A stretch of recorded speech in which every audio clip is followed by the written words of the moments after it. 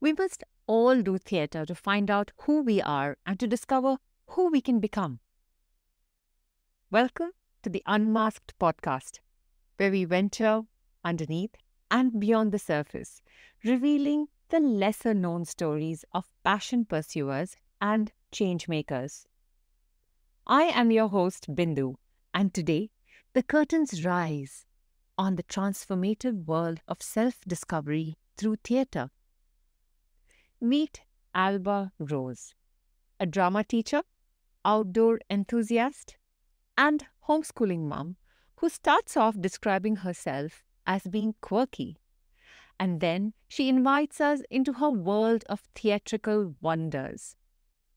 Join us as we uncover her journey where the spotlight shines not only on the stage but also on life's most profound lessons.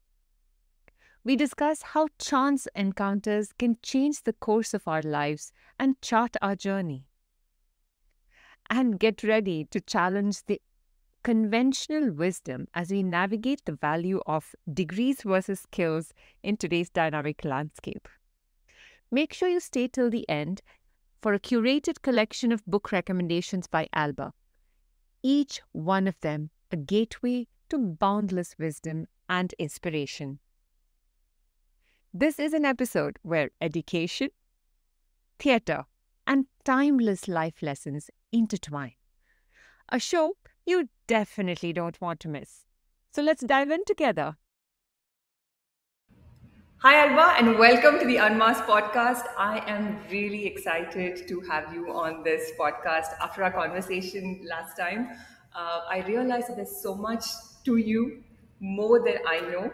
What I have been is uh, a, a, person standing and watching you at a distance behind the scenes uh, when you when you direct the children, and I'm like something that has always struck me before I got to know you is uh, the passion that you have and the energy that you bring.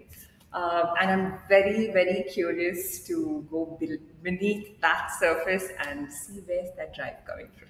Thank you, Bindu. I'm uh, very happy to be doing this. Uh, I think uh, I've connected with you, and uh, it's such a such a seamless connection, you know. And I can't wait to explore what we have here. Super, excellent. So let's start from the very beginning. So who is Alba? Uh, where did you grow up? What were your growing years like?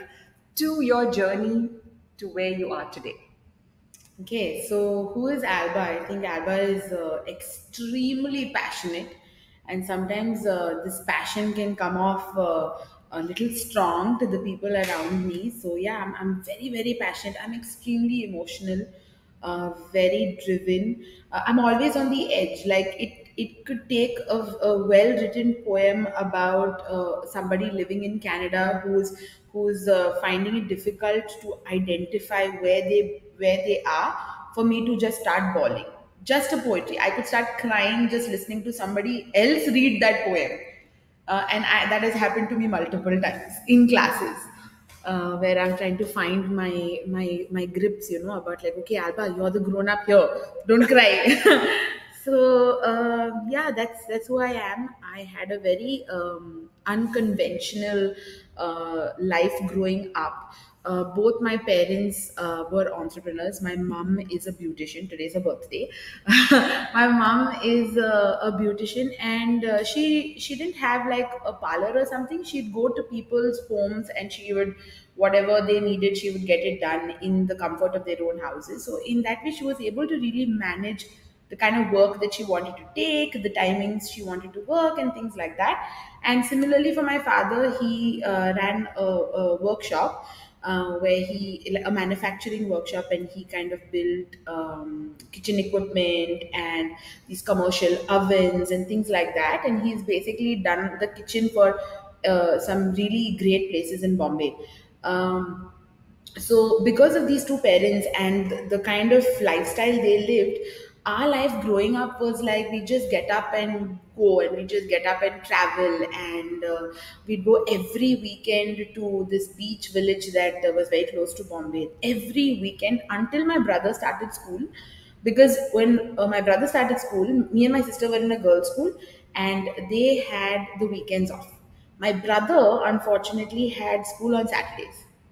And that completely threw our entire schedule, and I hated it because I was like, we had the weekends and now we don't. And he, he had a chutti on uh, Thursday and one on Sunday. And it completely threw our, our uh, family's timetable off. But yeah, so I kind of grew up in this very outdoorsy, extremely passionate. I don't think there was any class growing up my mother didn't put me in. There was this beautiful place. Um, it's in um, it's in Santa Cruz, which is like 20 minutes from Bandra, and uh, it's called Balkanji Wadi basically they have these extremely uh, pocket friendly classes for children over there and they do everything. They do gymnastics skating art and my mom would take me at least four times a week there for classes after school because she just wanted me to do everything. Strangely the only class i never actually took growing up was drama. Okay.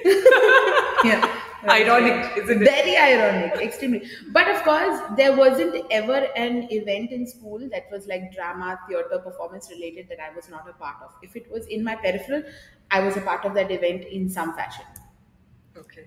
Okay. Yeah. Wow. So there are a couple of things that I'd like to deep dive into. So you said that you had a you had a very outdoorsy uh, life growing up. Yeah. So just describe how that looked like. Um, so we'd go and we'd uh, so my, my mom she her family is this fisher folk family. They're from bandra. And a lot of her mom's parents and all and her mom's siblings they lived in this place called uttan gorai which is uh, this beach town which is a fisher folk town which is like two hours from bandra. Now uh, we'd spend our every almost every weekend there when we were in school in school months and when we were in summer holidays we'd be in mangalore we'd be in goa we'd be in mysore we'd be in bangalore.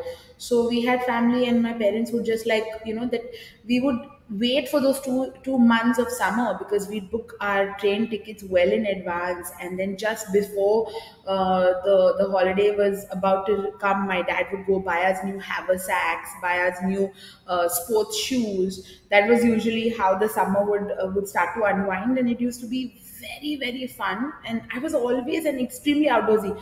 Uh, the thing my dad i think um, my dad wanted a son i think so.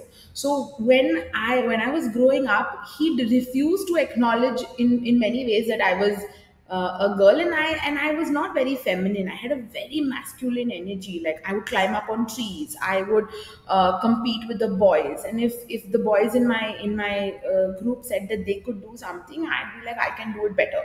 So i was always like that. I'd climb up trees and i'd get i'd get beaten up. I'd beat up people you know when i was in my i think i was in my 10th or 11th when my, all of my friends my guy friends they started going for kickboxing classes it was a trend at that time. And i wanted to do it as well because they were all doing it. My mom refused to let me go. She said no you can't join kickboxing because you're already beating up people and if you know the proper techniques of it it's going to be even worse.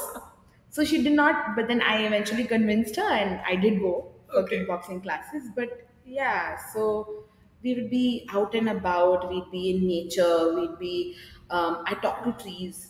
I had this very strange thing when i was when i was really young that i would sit next to a tree i put my hand on the bark and i would pretend like i'm talking to it and it's talking back to me. And in my adult uh, in my adult life now i have also found myself doing that sometimes. I still do it. I talk to trees. And do you know the trees do have a life of its own? There is Yeah. actually a book Yeah. uh, where uh, there is a research into the whole life of trees. I think it's called Life of Trees. Really? And uh, it, it talks about how the whole network of trees have their own life and they, they have friends and their roots are all connected. And the fact that they have feelings.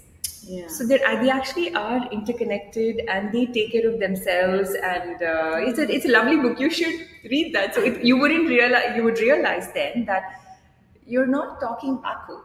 It's Yeah. actually real. You're dipping into their energy. yeah yeah So I'll I'll mark that book when I get that. Yeah, Exactly. so I, I there was this one tree on the beach in Gorai, which is a people ka and it's right at the beach. And the waves would sometimes uh, in high tide, the waves would go past the tree So my dad would have me climb up on the, the like 10, 15 feet up and he'd be like, when the wave is coming, you jump into the water from 10, 15 feet. And I have done that. And my mother would just be standing like, you know, 200 meters trying to uh, trying to get him to stop and he, she'll be like you're trying to kill my children what are you doing and my dad would be like no no she can do this and i would do i would bizarrely do all sorts of crazy things if, if I had my father's backing, if my father said do it, I would do it. And like if he knows, if he thinks it's great, uh, nothing will happen, I'll be fine. Wow. So that was your back. You knew that you had your back uh, protected. You're like, Yeah, okay. I can do it. Yeah, I was uh, very, very close to my father growing up. He actually, it's been a little over a month now that he's passed away. I was very, very close to him, but then, um, uh, like, whatever he said, he told me that until I finished my 10th grade, I cannot have boyfriends. And while everybody in my neighborhood was having boyfriends, I was like, no. My dad said no, and I may have a crush on a boy or whatever, but like, uh, I don't see the point in it. And which is why I was also left out from a lot of like fun things that all of these guys were doing because I'd always be the third wheel then with no boyfriend. And you know there was this one boy who'd come and stand outside my house. And uh, he's so stupid this fellow. He just come and he like literally just stand staring into my house. He was as old as me only so it was not very creepy. But my dad will be like hey he likes you and he wants to be your boyfriend. And I'll be like Daddy, you said I can't have a boyfriend so why are you encouraging this? Tell him to go so uh, we had this um, we'd be able to talk about anything. We'd go into the night sometimes 2 o'clock 3 o'clock sitting and talking about life. And my dad always had this very uh, beautiful saying. He'd say that when you step out of the house and if you see a neighbor and uh, you don't smile at them nothing no points are cut from from your points of life. If you smile at them you get a point. And so you know think of this as like sometimes doing good things for for anybody may may get you in in a place in life where you didn't imagine you would be so like what's the harm smile at the people and he do this you know every sunday just before or um, after Sunday Mass, he would go to the entire neighborhood, ho- home by home, saying, Hi, everybody, how are you? Happy Sunday. And he would do this. So he was this kind of a person. I was actually not very close to my mom growing up. Um, yeah, but my dad, I was. And do you still smile at strangers today? I do. I do. I find it extremely easy to make friends. Um, I could make friends with anybody on the street, uh, especially kids. Uh, I it's not very difficult for me to make uh, friends with kids. I think when a lot of children see me for the first time, they're actually taken aback by how silly I can be, and they're like, "Wow, this is an adult who's being extremely weird." There's something about it. Let's dive in and explore. So uh, I think uh, kids kids find it very easy to be friends, and um, yeah, um, So it's like that childlike energy still alive. yes, yes. It's interesting that you brought this up a couple of times where there's we, we kind of distinguish between an adult and a child. And children are supposed to be playful and fun and energetic and all of that. And then adult is I don't know, stereotypically boring and that's that's how I think the world views these two big segments. What are your thoughts on this? Uh, so I think I'm extremely whimsical, uh, and I think that I have a fondness for people that also are. And the place that I work with, and uh, and the people that I work with, it's a byproduct. Like if you are not fun and entertaining, children are not going to want to be a part of your the story that you're telling. Um, so it's, it's very sad actually that people lose this this joy of life and living and they get so occupied with things in fact just today as i was scrolling doom scrolling on instagram before here um, i saw this reel about where this lady is talking about none of us know who our grandfather's grandfather was that means three or four generations down, everything that you own, everything that you've built, all of your memories will be gone. There'll be nobody who knows you and knows your life that is going to continue to, you know, to, to keep you in their thoughts because you're four generations down. Maybe now because of this digital um digitalization of people's lives, maybe you'll still live on in some cloud somewhere, but people won't actually have you in their thoughts as much so when you're investing in in life and you're investing in things and materials you've got to be so conscious about what you're prioritizing because if you're prioritizing this car that you that you want to spend like um, you know uh, 75% of your paycheck on and then 80 years from now it's going to just not be here so what are you prioritizing so i think uh, people need to start being more conscious Yeah, that's profound. yeah instagram at its best So, what do you think? Why do you think people end up, adults end up becoming stereotypically boring? Mm, I think that's what they know and that's what they've seen. Um, I think I was blessed to have uh, two parents who uh, who did not shy away from following their heart in a lot of the things they do. My mother is also she's really crazy. Um, you know, we we have this row house in Nasik, and she's basically the only one living there now. And my son lived with her for two years uh, when in, in his first two years of his life. And she's the only person there and it's a four bedroom home with some six bathrooms. She has a fixation about building bathrooms that i cannot and she wants a pink bathroom she wants a blue bathroom like all her bathrooms are you know they're color coordinated in the way they are. So i feel like uh, sometimes you have to embrace your your cooks you know and uh, just enjoy it and play and explore things that you don't do otherwise and and do things that are outside your comfort zone and be passionate about learning new things. I think learning new things is something that we forget to do on the way of life. And uh, i love to learn. If you tell if you put me in a class um, uh, where somebody else is taking like a workshop or something i love being a learner i love learning new things. I've been actively trying to teach myself spanish on duolingo for the past decade now. I have reached nowhere. Uh, but yeah i think i love to learn and i think um, that's that's the curiosity of wanting to know more learn more ask questions is what keeps children um, as interesting as as they are. Um, and I think adults uh, they forget. They think now that I have reached this point, I know everything that I need to know, and that's it. I'm done. And then life uh, becomes monotonous with paying bills and um, and family functions. Um, I cannot be caught dead at a family function. I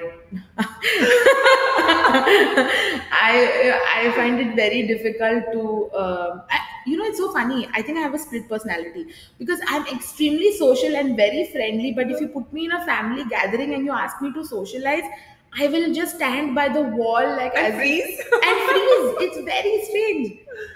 Yeah. Okay.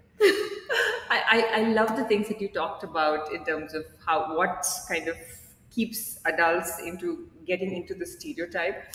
Uh, but I'd love to deep dive into the learning bit that you said, uh, because I think that's one critical space that as adults we kind of begin to think that we kind of know it all, Yeah. or it's all our experience that Yeah. begins to speak. And sometimes I feel that experience can be uh, experience changes. So it's not something that we, if we experience something the first time, it does not mean in the same context we're going to experience the same way. But there is a tendency, and I've seen it as well. I say, no, from my experience, this is what's going to happen. From, so that kind of, I think, brings in a kind of a filter in everyone's eyes Yeah. and you begin to see the world only a particular way. I think that that's the place where when you say get out of your comfort zone, learn, I think that's where you keep that lens always clean Yeah. and make sure those uh, the, the view is still open and curious. So how do you do that? So I had a very uh, strange uh, education uh, life. Like my childhood and my education was very weird.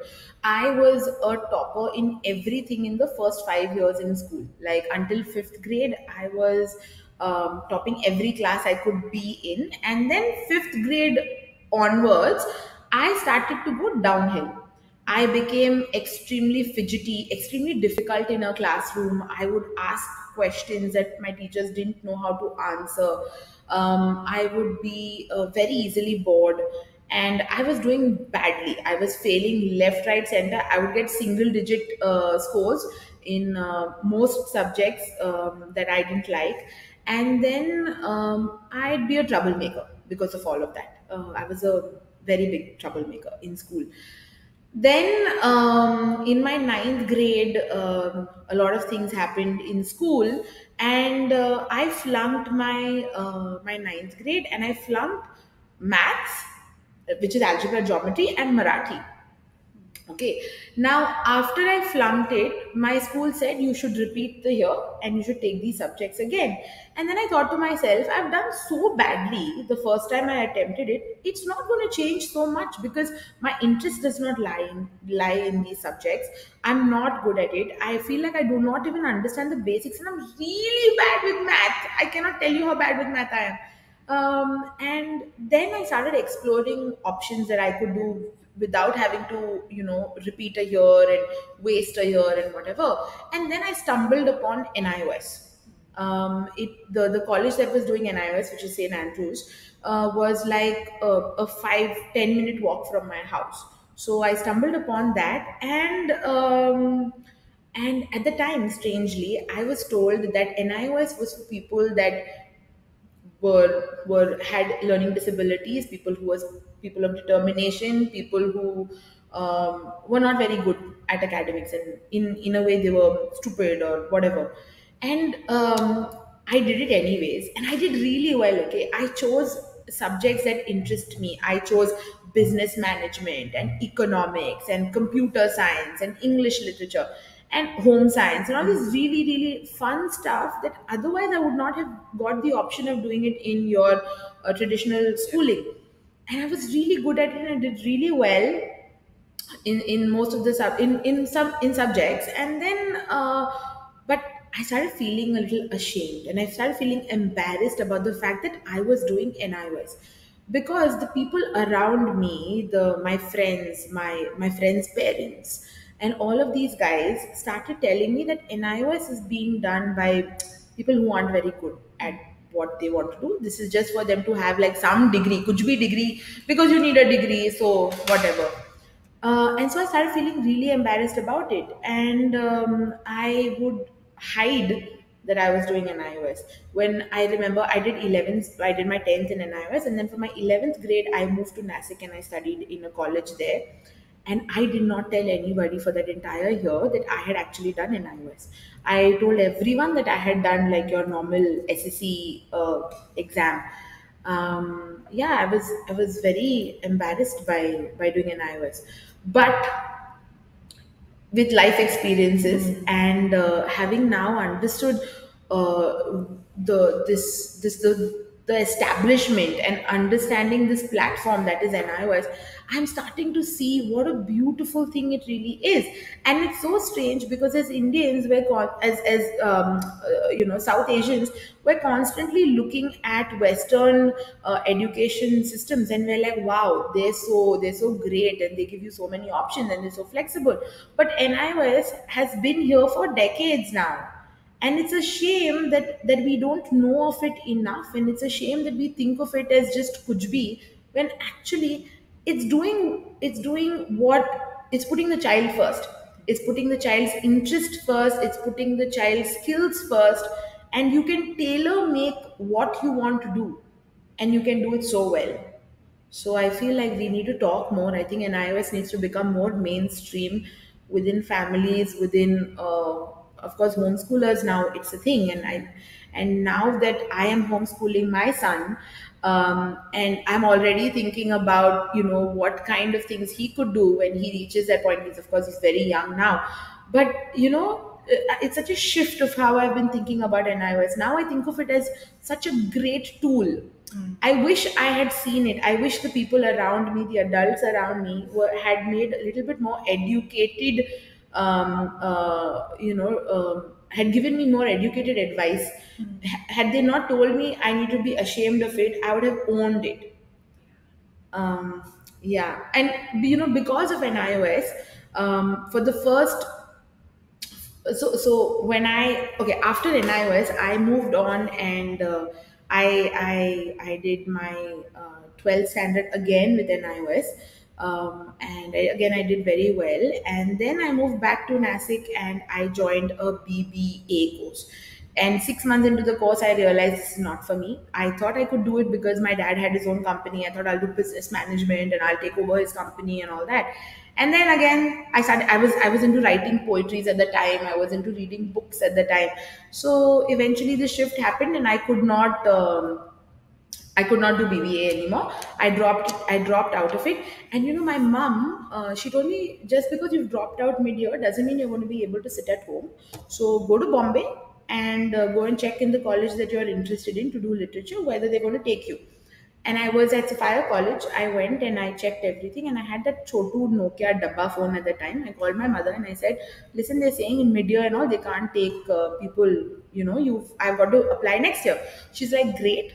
Go to the next go to the first uh, newspaper stand you see. Go pick a newspaper and look where they're saying there are vacancies for jobs. Go find yourself a job. Don't come back home until you have a job because you are not sitting six months at home doing nothing. And i went and i looked and then there was uh, um, there was a requirement for a writer at Rajshri Productions, the one that does all of that used to do Salman Khan's movies. And um, I went there for an interview, and I was there um, with another three, four people who were adults at the time, and I was barely 18. And I got the job. And then I worked with them for almost six, seven, eight months as a, a, a executive content writer. And that was my first proper paid, legit pa- paid job. Uh, that I tried to do even after I started college again at Sophia's, but I was not able to manage the hours. So then I did my then I did Sophia's, and somewhere in the middle of Sophia's, uh, my um, my family life started to rock a little bit. My parents were getting a divorce, and they were on and off. And my dad uh, said that I needed to be financially independent, and that he was not going to pay my bills anymore, and he was not going to pay the AC bill anymore. I remember this conversation was so bizarre, um, and I and I thought I'll get a job. I um, I asked around, and at that time it was a fashion. Everybody was doing side hustles at um, at these uh, what what they called uh, customer service, ना? Call center. call centers. Shucks. yeah, at call centers. And I thought, uh, okay, uh, I'll also do a call center gig. How and everyone's doing it. It's really fun, and let's try it. And I did it for like a month or two. It was uh, not my thing. This sitting down and talking to people, and uh, we were talking to people in the UK, and they were extremely racist. Like I would find myself every third call, I was giving somebody a good earful, and you know they'll be like, "You Indians, why you calling?" And I'll be like, "Excuse me." Okay, don't speak like that and then my flow manager at that time would literally come and stand next to me and beg me to put the phone down because he'd get in trouble. And then I realized that this is again not for me. And then, uh, luckily, one of my mom's clients, uh, who is a drum, who was a drama teacher at the time, she could not take a drama class. She would work for a private company who would take extracurricular activities after school. And she called me up one day. She knew that I was inclined towards the performance arts, and she called me up and she said, "Will you take my class for me as a substitute?" I said first outright no because uh, now where I want to go and do your work for you and all that. Then she said, Listen, there is money, I will give you money and I will give you the resources. And I thought, Ki, wow, okay, like even if it is a hundred bucks for an hour, hundred rupees an hour at that time meant I could have four orange juices in school for four days consecutively. So I was like, Great, sign me up, I will come, I will take the class.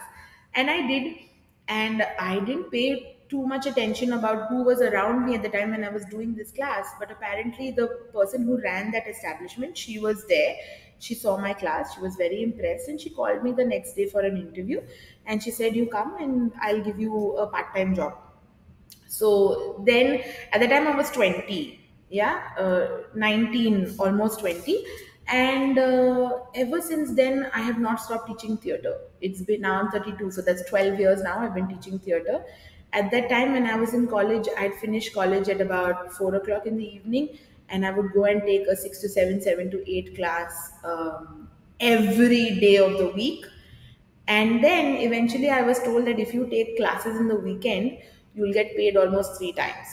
Because weekend classes it's it's good it's a good pay. And i started doing weekend classes. So i was basically working pretty much all the days of my my week um, as a college student and i did not have too much time for a social life or like parties. It was not my thing. And then eventually it became a part of who i am.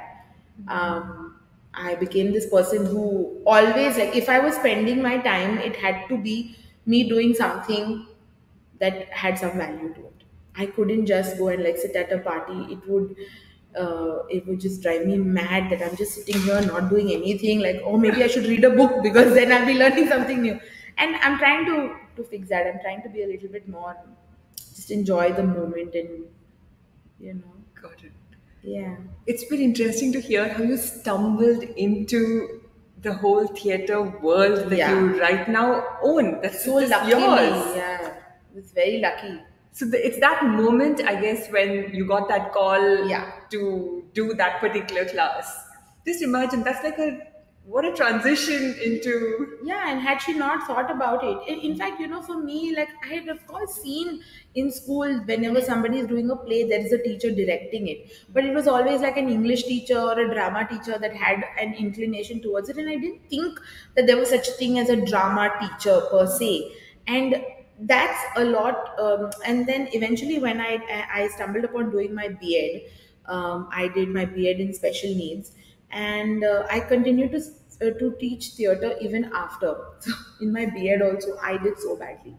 Uh, in my first uh, first term of my BEd, I flunked all five theory subjects. So I, just before I started my BEd, uh, I broke up with this boy that I was dating for three years straight. I broke up with him because I was very stressed. When I did my BEd uh, exam, and we were about like a hundred and hundred and some five or six girls who had done you know the group the writing exam the group discussion and all of this. And i i knew with the way the people the teachers were looking at me that i i had scored a place. Yeah. But later that evening when the list came out my name was not on the list. And there were 120 people even though only 105 or 106 were a part of that day's event there were 120 and my name was not on that list and i went into the bathroom and i just cried because i did not have a plan b. And um, eventually when i went back to the company that i was working at uh, i told uh, the lady there that you know I, I went for the BEd thing and it didn't happen. My name is not on the list.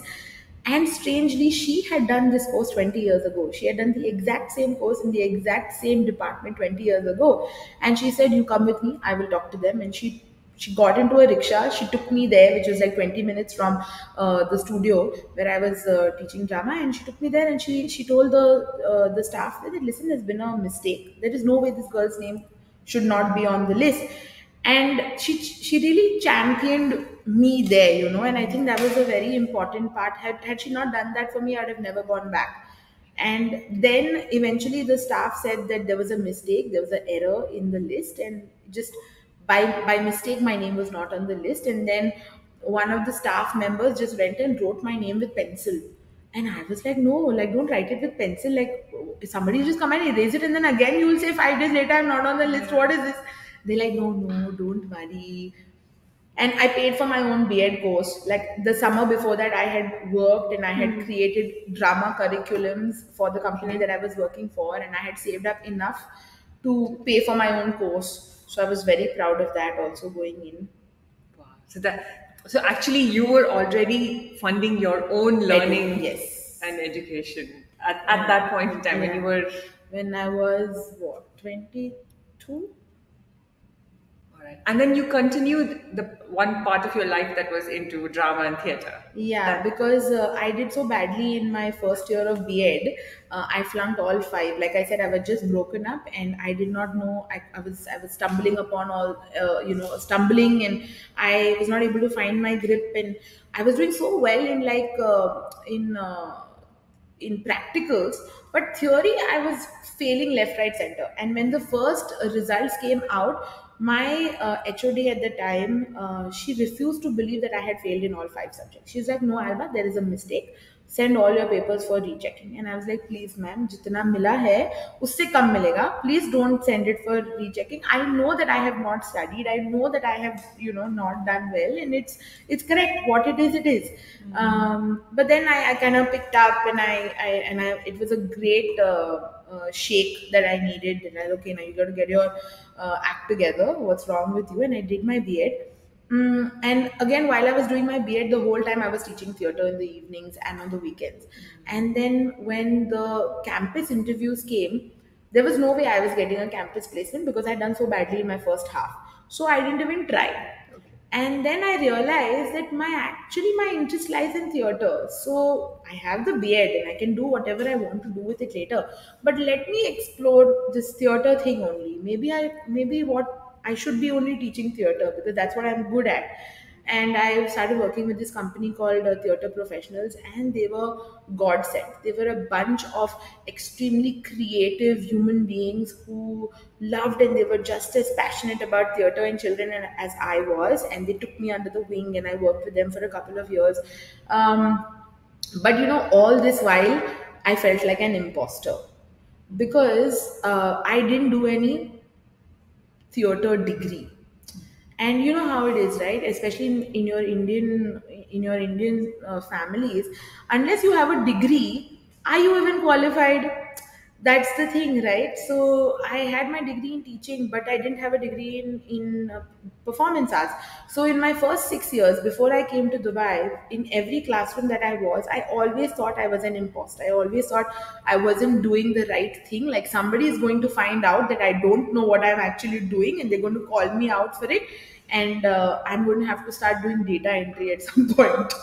Um, but when I came to Dubai and I worked with with Malvika, and I and I and that's she started seeing me for the theater teacher, the drama teacher that I was, and she put so much of faith. And it did not it did not mean two hoots to her that I didn't have a teaching degree. I mean, I, I didn't have a theater degree. Um, she just she saw me taking a class she saw me acting and she saw that that that is what i was meant to do and she put so much of faith in me that now i really own what i do you know now i'm in a class and i could be in a class with 500 people and i know i can make it work I love where we are right now in the conversation. And you've talked into so many things that are valuable for people who are hearing, and some things that I know that uh, the kids who are doing NIOS today they will relate to what you're saying. And I'm so glad that you said that there's so much more that we need to talk about in that segment, which is lovely. And the whole moments where uh, shifts happen in our life, right? The people who kind of see something in us that we don't see for ourselves. I think that's uh, those are blessings that just come our way. Yeah, definitely. So, um, you know, I find myself very often uh, dropping a message to this auntie uh, that that helped me see a profession in theater. I keep dropping a message saying that I'm just thinking about you, and I'm very thankful because wherever I am today in this profession is because you opened this door for me. Had you not, I don't know where I would have been and what I would be doing. Um, but uh, the faith that you had in me, because see, the thing is that I come from uh, my fam. Both of my parents are not educated. My mother studied Marathi medium first standard, and her mom pulled her out of school to start working as a maid in somebody's house. Um, my dad studied in Kannada medium until ninth grade, and then he got into some trouble, broke some windows of the school and whatnot, and uh, was thrown out of school. And he ran away, came to Bombay, started working. Um, so I don't come from a particularly, not particularly, not academic family at all. Like in my mom's side of the family, I'm the second person that has graduated in the entire, you know, my mom's all of her siblings, all I'm second person to have graduated, and I think I'm the last person to have graduated because the siblings who are who my siblings have definitely not graduated, and my cousins are much younger, so they still to get there. Hopefully, they go through it. Our family has not been; they don't push for academics as much, and it's a shame.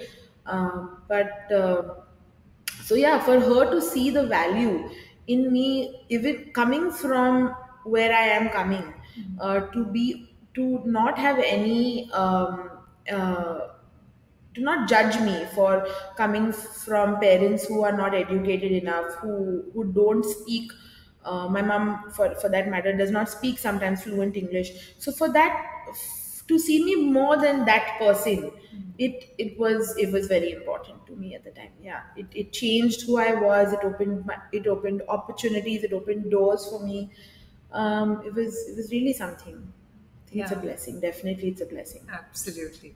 And and when you're talking about imposter syndrome, Yeah.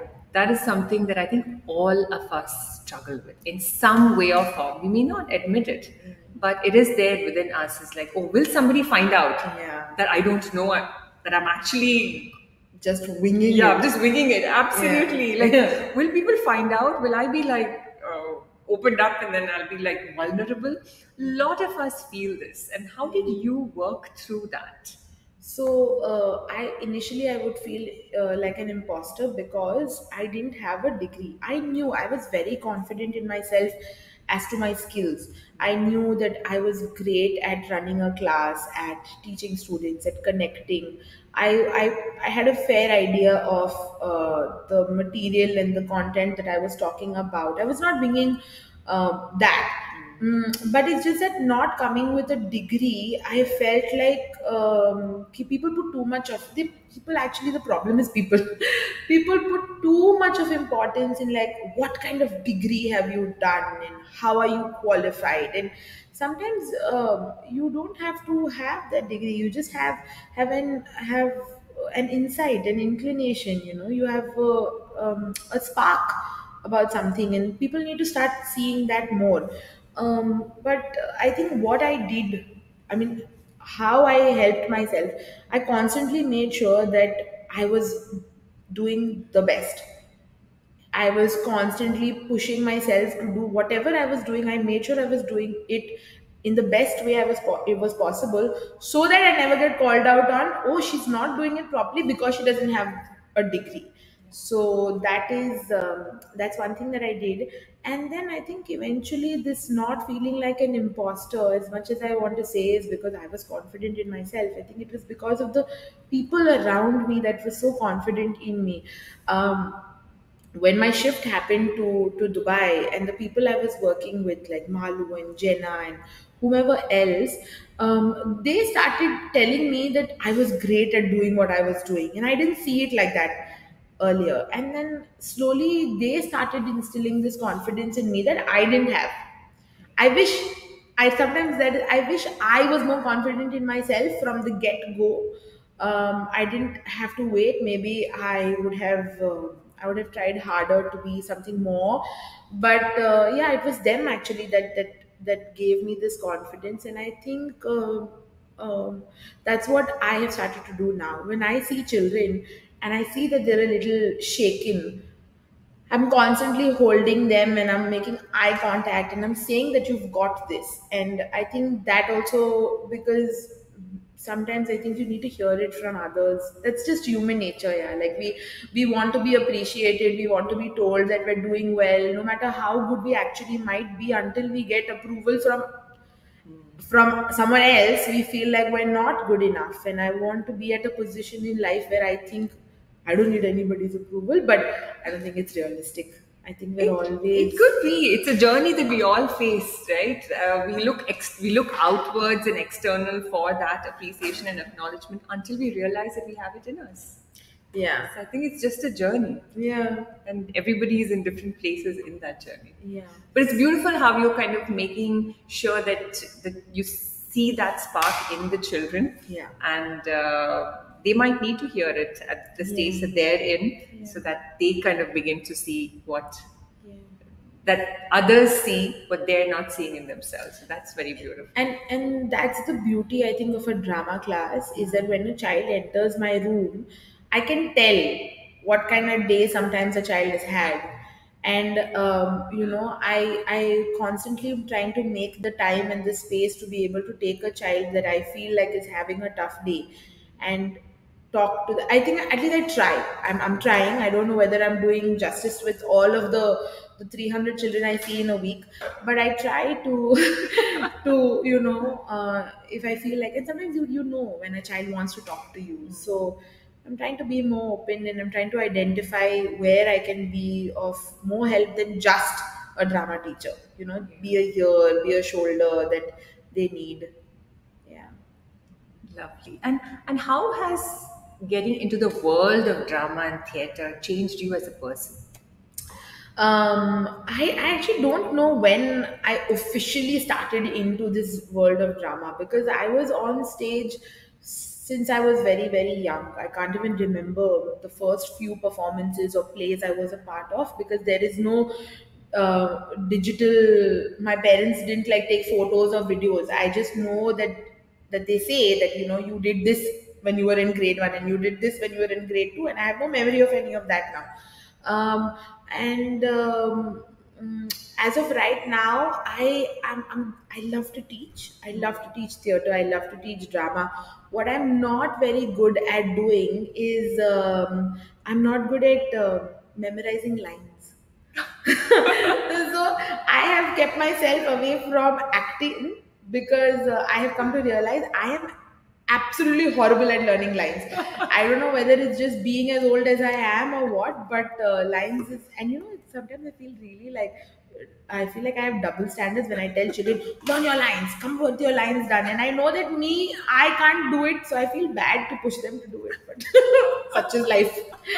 Uh, yeah, so I think drama has really shaped me. It's given um, it's given me the opportunity to be this loud, extremely emotional, extremely passionate person that I am, that I always was, and um, uh, teaching drama, being with books, reading about people's lives uh, that have been lived 80 years ago or like five years ago in a completely different part of the world.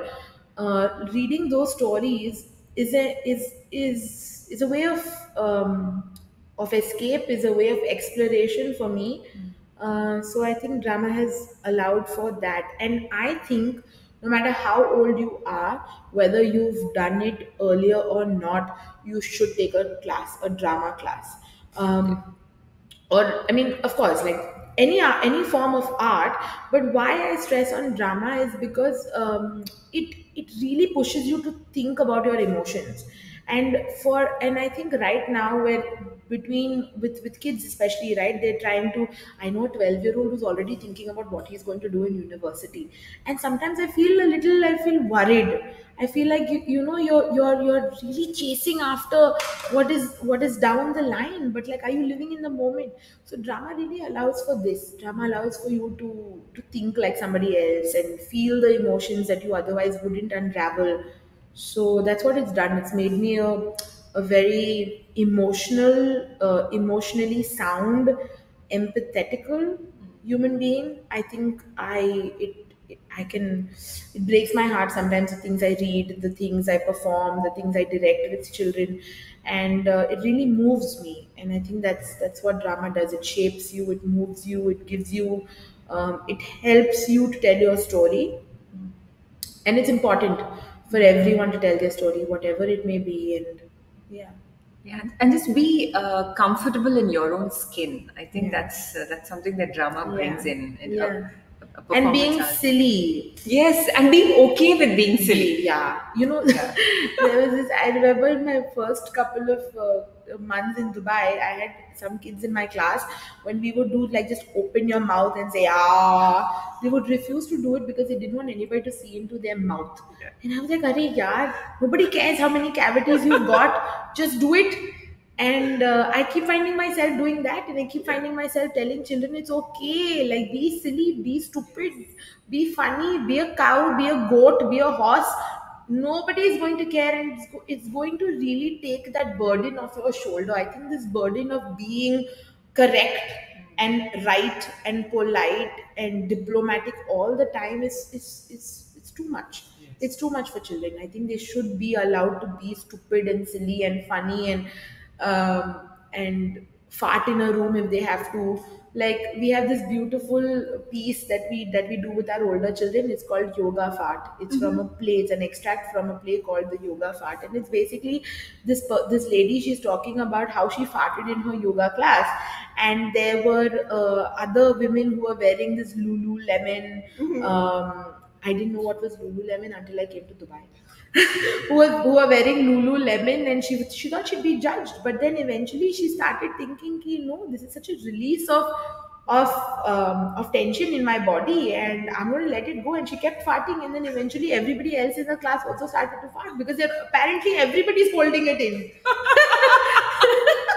so Oh, that's so interesting. So for me, uh, this uh, my world into this whole uh, theater and, and being open about just be who you are was when I did improv fairly recently. So I've always loved performance arts, but improv is something I never explored.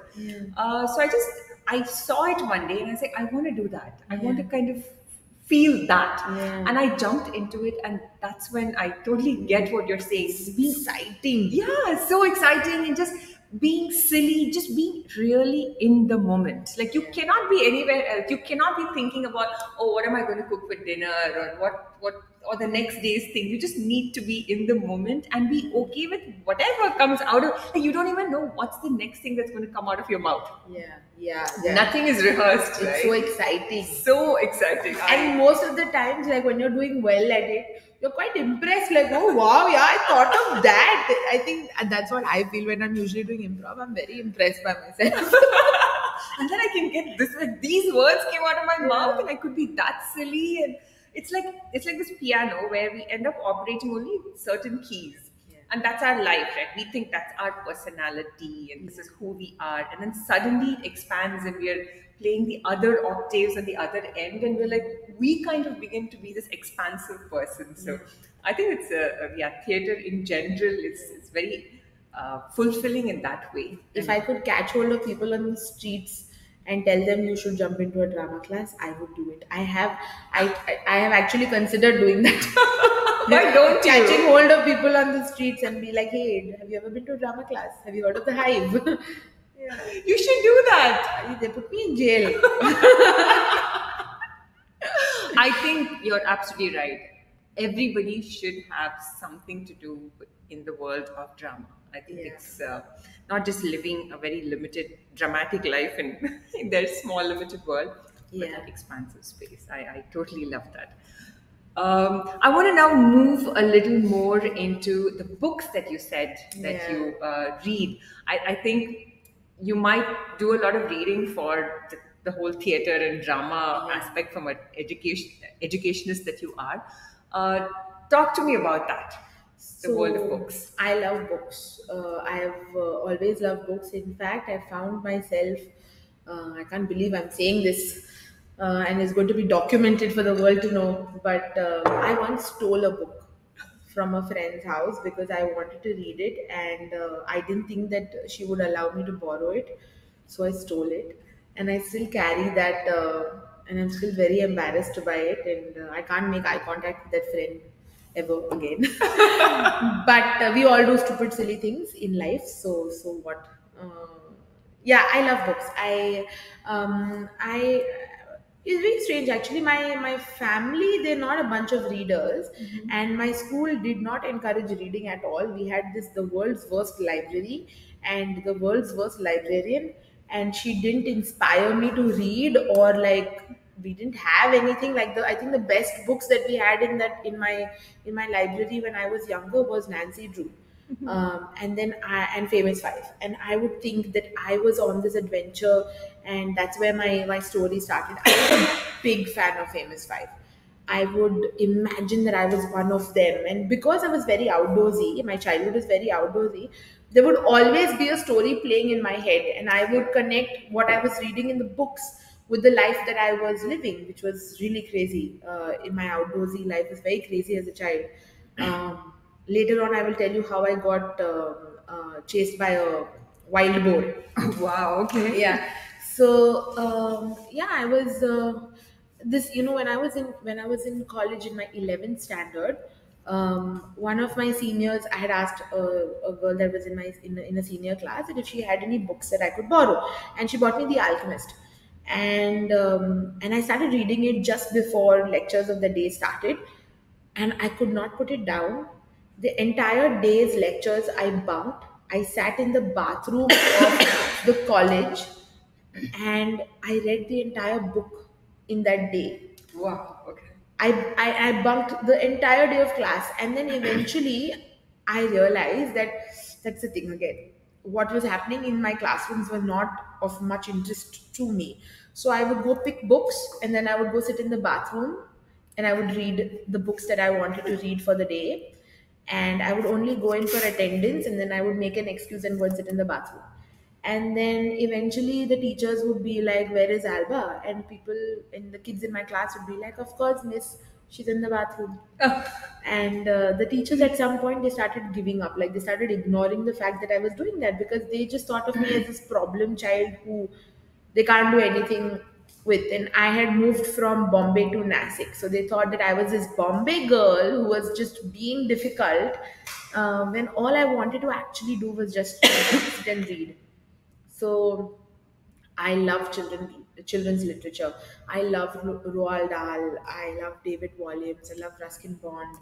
Um, I think um, uh, Roald Dahl has influenced my my whimsical personality quite a lot. I think if if I could play a, a character, and I keep joking about this, I would love to play Miss Trunchbull. and you know, I keep talking about this to the kids in my class, and they and the thing is, I'm very funny in class, okay, but kids also know that they can't be messing about in my class. Like they've got to get their work done because Miss Alba has these big eyes, and I, all I've got to do is like. I'm really disappointed right now, and I make these big eyes at these children, Right. and they know that okay, they've got to get their act together. So um, kids, they actually agree with me. They think that I'll be a great Miss I think so too. Thank you. but I'm actually very like funny also. But uh, I think I would do. I would love to play Willy Wonka. Like, um, so I think a lot of my personality has been influenced by the books that I read about Roald Dahl, uh, the, the books that Roald Dahl wrote when I was growing up, and uh, I've constantly tried to hold on to to the child, you know, the childlike uh, personality that I have because I see so much of joy in that. I think that is what keeps my life very light. Um, I I am I'm a lot of a like I- I'm a minimalistic person. I don't like very fancy things, expensive things. I love to thrift. I love I I thrifted this shirt for ten dirhams. Wow. Okay. Yes. I love to thrift. It is, I'm a hoarder, a little bit of a hoarder, okay? Uh, my family says I have a problem, but I absolutely love to thrift. And um, I love to do things that are that are cheap and still stimulating. Like I love to go to the lake and sit down there with a book rather than going to like I don't know, ski Dubai Got it. Huh. you know so that's that's the kind of person that that i am and uh, books uh, have always been my comfort i have always had a book in my bag you know, the book that i'm reading right now i forgot it in the in the Bur Dubai studio last night Okay.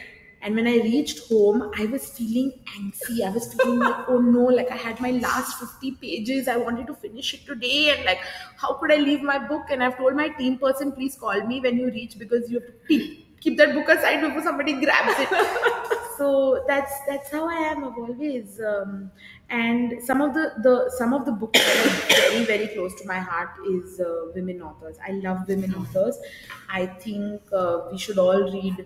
Um, you know, when I was growing up, I had heard that um, the Bronte sisters had all written with male names Okay. they did not write in their original names like they didn't say who they were when they were writing because they were all told that uh, first of all women were only expected to write books about etiquettes and like how to run a household and how to have your hair well done and all of that nonsense.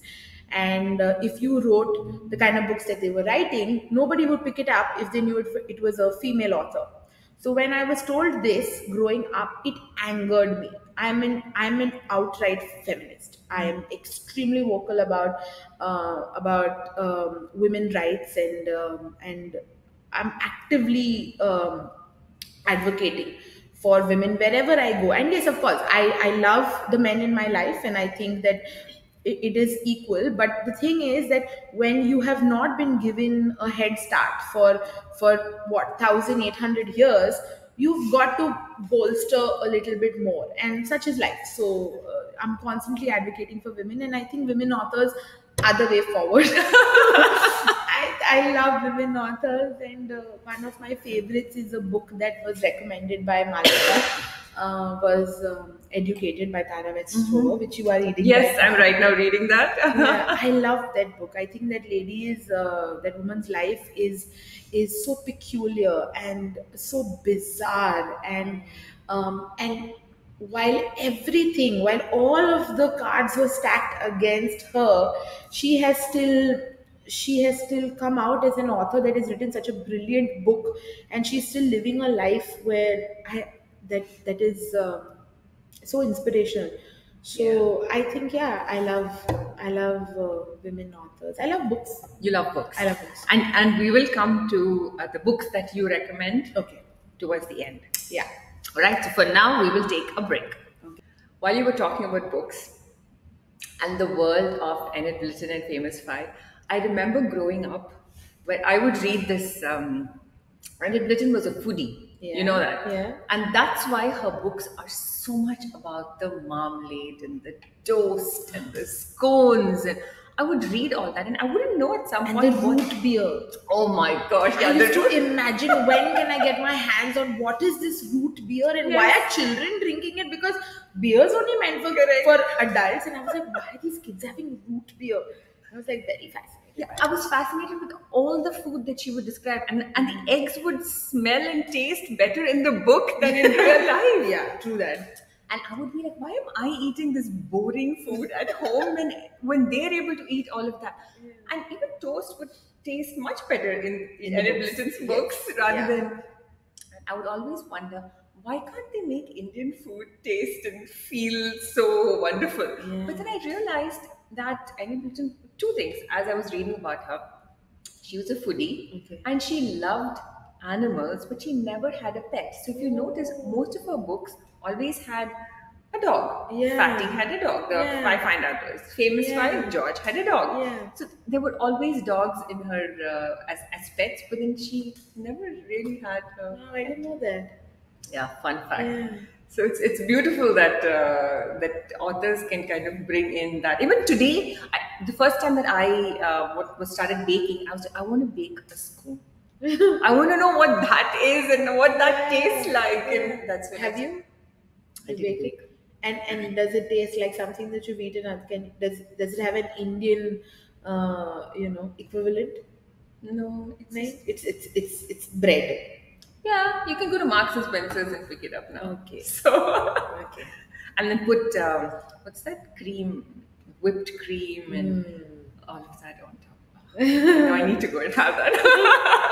but it's also interesting that uh, Indian authors, I think, also need to explore that side of food. Don't you think so?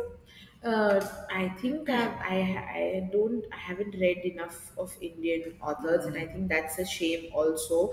But I'm starting I'm starting to pick uh, authors of different culture. So we basically we're training for Trinity, right? We train children for the Trinity speech and drama exams, and uh, in the grade four and above of this, we need to pick pieces that are different in cultures and contrast in the sense of theme and authors and timelines and things like that. So I'm constantly picking up. I only, as much as it was recommended, I only read Khaled Hosseini like two months ago Okay. for the very first time and i read uh, two of uh, two of his books of course i read it in uh, in the play adaptation format i read uh, the thousand splendid suns and the kite runner and i cried i was just eyeballing i could not believe I mean, of course, I know that there are people, you know, who, who live in different parts of the world that are having these experiences, but it just it's just so heartbreaking. And then right now even though these books are so old they're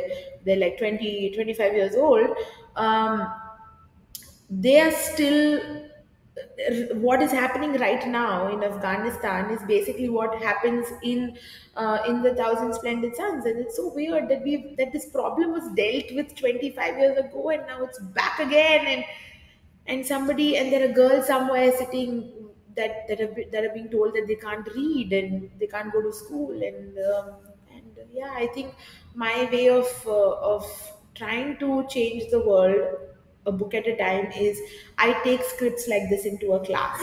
And I tell and I and there is this part in um, in the Thousand Splendid Suns where there is this girl called Aziza um, who is reading the newspaper and she finds out while reading that paper that she's not allowed to go to school anymore. And it breaks her heart and she's she's she's a young girl and she's very confused and she's asking her mothers like why? Why can't i go? What's wrong? Like how can they actually do this to me and i take that script into class and i'm getting the girls in my classes to, to, to do and to play this character because i want them to understand that you are in this very same age group as this girl aziza in this book. And her education was taken away from her like this so hmm. easily. And that is the happening right now. But because you're so far away from the reality of that you don't know. And you know sometimes i sit and i talk to kids in class and they don't know who the taliban is and they don't know what the holocaust was. And it really hurts me because i feel like if you don't know what has happened in human history um, you won't be able to prevent it when when you see it coming. You won't be able to make better choices. You won't know the pain that somebody else has gone through and it'll all seem so alien. So at least reading about what has happened in history will remind you and you'll be so wary. You won't allow something like this to happen in your peripheral. When someone is being told they can't go to school or something like this you'll you'll, you'll be like no like you know. So there are books that are very close to my heart. There's a book called mothering a muslim. I can't remember the author's name right now.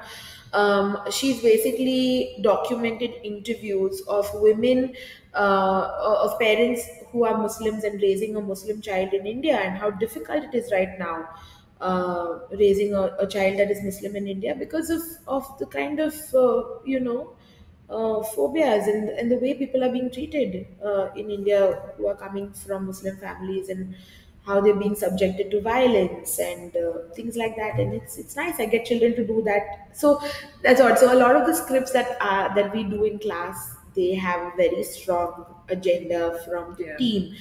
They've got to be moving somebody. They've got to be teaching something new. They've got to introduce them to uh, we've got to introduce kids to something that is happening in the world something that needs to be spoken about. We we were shifting from just western white authors and we're trying to bring more diverse cultural pieces uh, where children you know where children start reading because otherwise they will never know what like we were talking about partition literature Yes. right?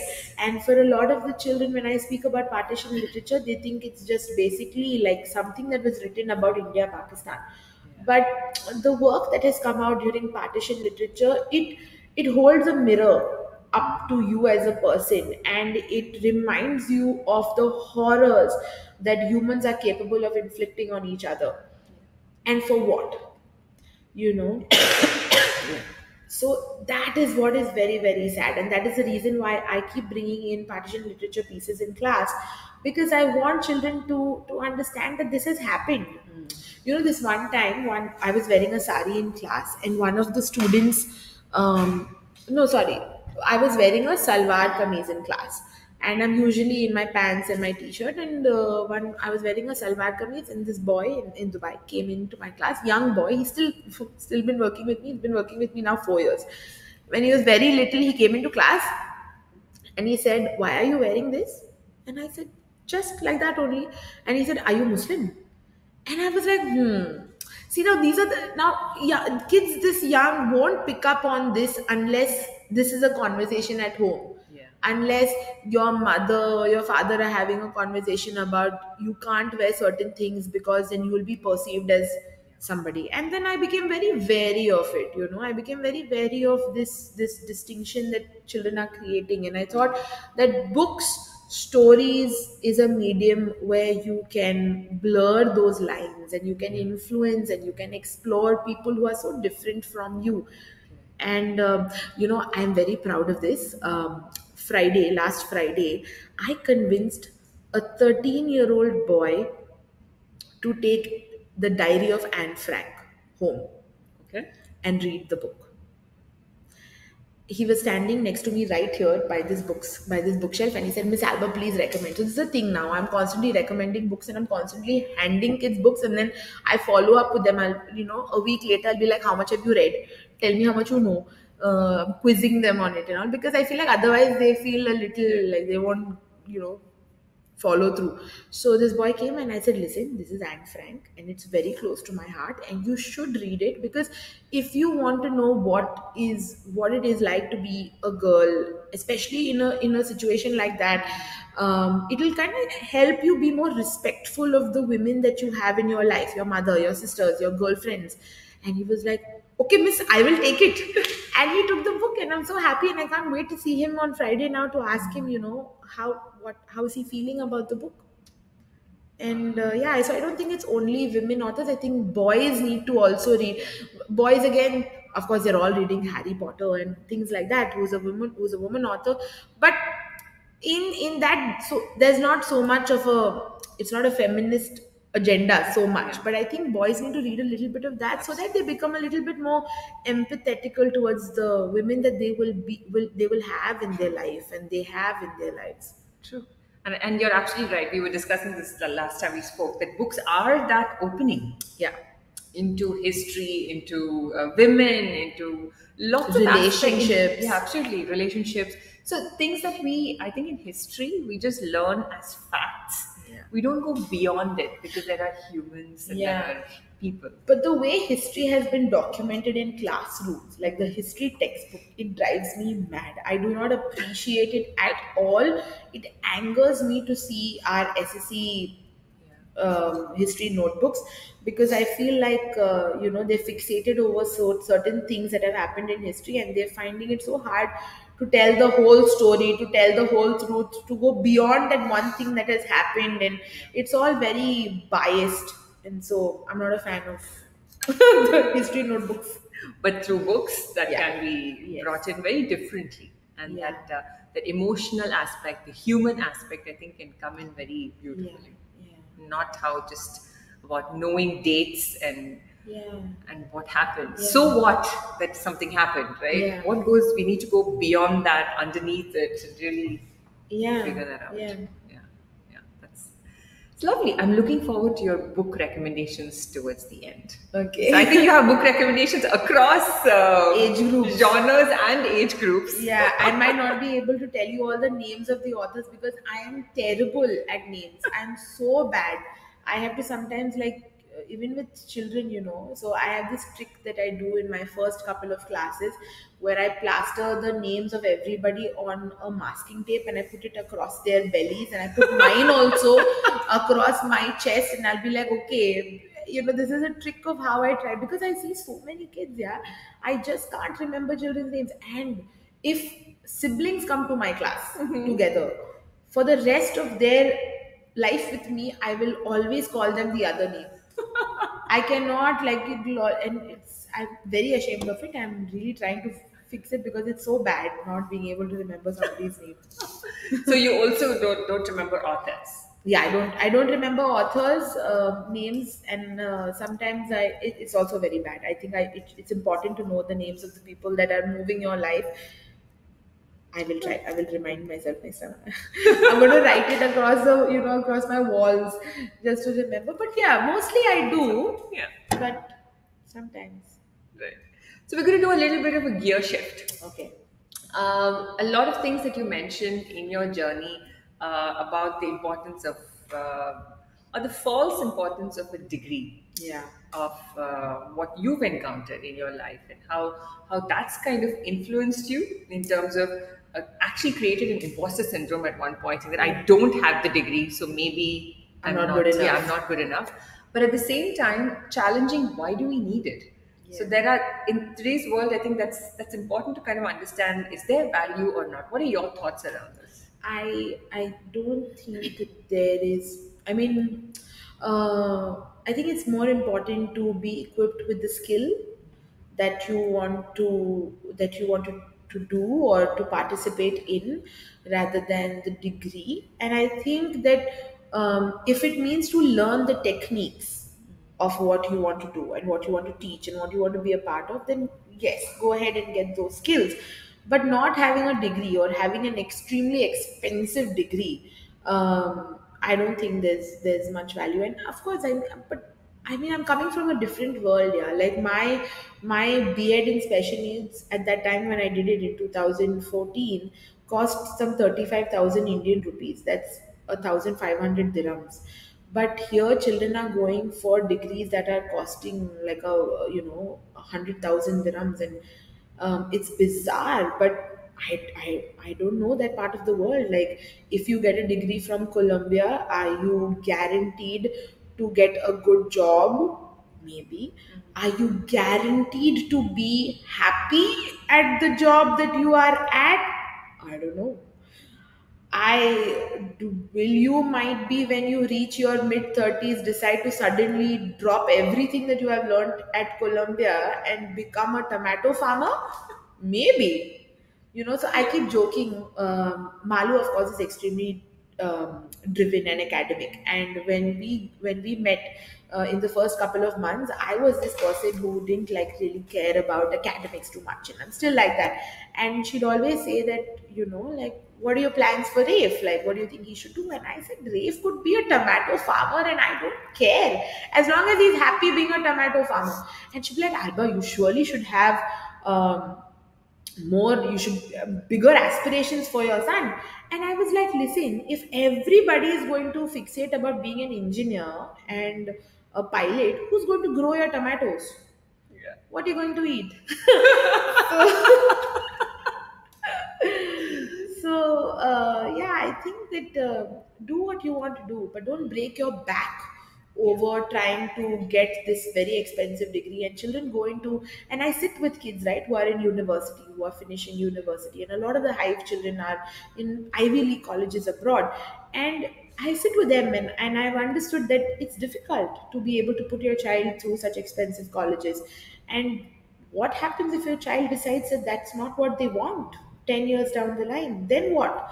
Then what do you do? And then you know so i feel like I feel like there needs to be a shift. Yeah, education shouldn't be so expensive. Yeah. Not so much value should be put in such expensive degrees because uh, I mean, like right now in the US, in all of these, most of these Ivy colleges, uh, children are uh, uh, they're protesting, right, about uh, uh, the pe- so not children, the teachers are protesting for better pay and because at the end of the day, who's making all this money?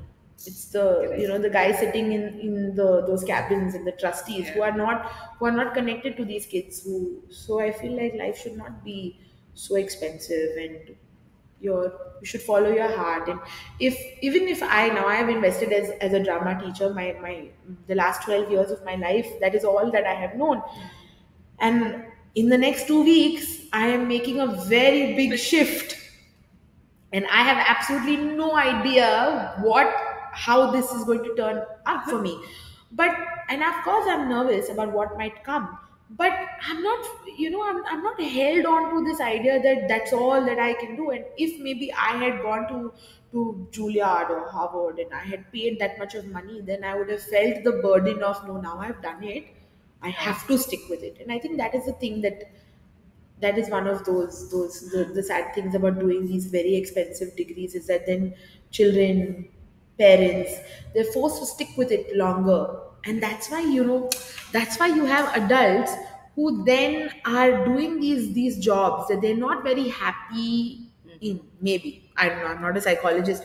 But i think maybe that might be one of the things why adults choose to be in unhappy uh, workplaces and unhappy professions because that's all they know and they've invested they've invested in their mbas and they've invested in their business schools and now if i decide to like leave everything and like go start a, a pancake shop everybody's going to laugh at me i think that's what people fear Absolutely. I think you've just uh, hit the nail uh, on its head because when when people do graduate from these kind of uh, big degrees and all of that, you, there is a burden that comes along with it.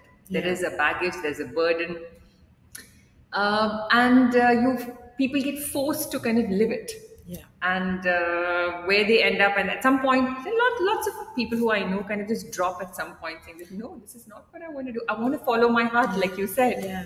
and i actually know a bunch of kids right now who are following their passion yeah so they are from the Arohi community, and they're a bunch of teenagers. And uh, it's about really following. If I love doing something, why not pursue it Yeah. and uh, work in it Yeah. and see whether I really love it. Correct. And then, if that needs a degree, then then pick it up. Then you kind of already know that I want to do something in it. Yeah. So I, I really admire those bunch of kids, and if you get get to see them, you should. Yeah. So when I did my B.Ed, before I did my B.Ed, I took a gap year. And my mother was completely against it. She she was very worried. She thought that finally somebody in this family has graduated. Now I want you to do another degree, like do a master's, do something. And if you take a gap year, you're not going to end up going back to college because that has been the trend in our family. Um, but I said no, I really need to stop and experience teaching before jumping headfirst and doing a degree because yes, of course I can change my mind eventually, but it's still it's still a little bit more committing, right? So I wanted to and then I started working at this place called Sarah International in Pune and it's this beautiful kindergarten and I worked there for a year and i loved it. I loved every aspect. I loved getting up at 6.30 and being at the school by 7 o'clock and welcoming children uh, you know first thing in the morning and i loved putting sanitizer on their hand and checking their temperature as they come because if they were like two degrees above their temperature we had to tell parents take them and go back. Immediately.